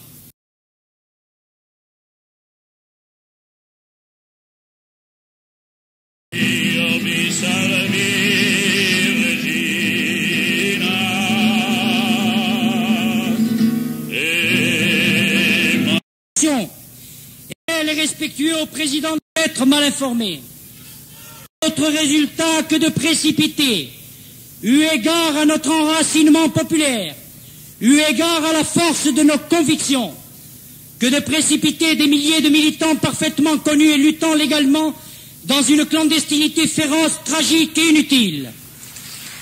À Liberbou, qui a parfaitement compris la nature politique du problème, comme il l'a dit à plusieurs reprises, mais qui n'a pas les moyens de le résoudre. À Liberbou, qui a dit publiquement à un repas de la jeune chambre économique de Bastia, même 200 000 Corses autonomistes ne sauraient faire modifier la Constitution, fermant ainsi par ses propos la porte à la voie légale pour une revendication légale. Nous répondrons par la phrase d'un révolutionnaire sud-américain célèbre, Che Guevara, un révolutionnaire, ou il gagne, ou il meurt. E viva o. E viva la Corsica. E viva l'autonomia. Pace e fratellanza a tutti i fratelli, anche un somica all'arca. E tutti in cuore, con Gian Paolo Martini, Natale Luciani, a cantare i nostri canti nazionali. Io vi salvi Regina e un colombo. Dio mi salvi,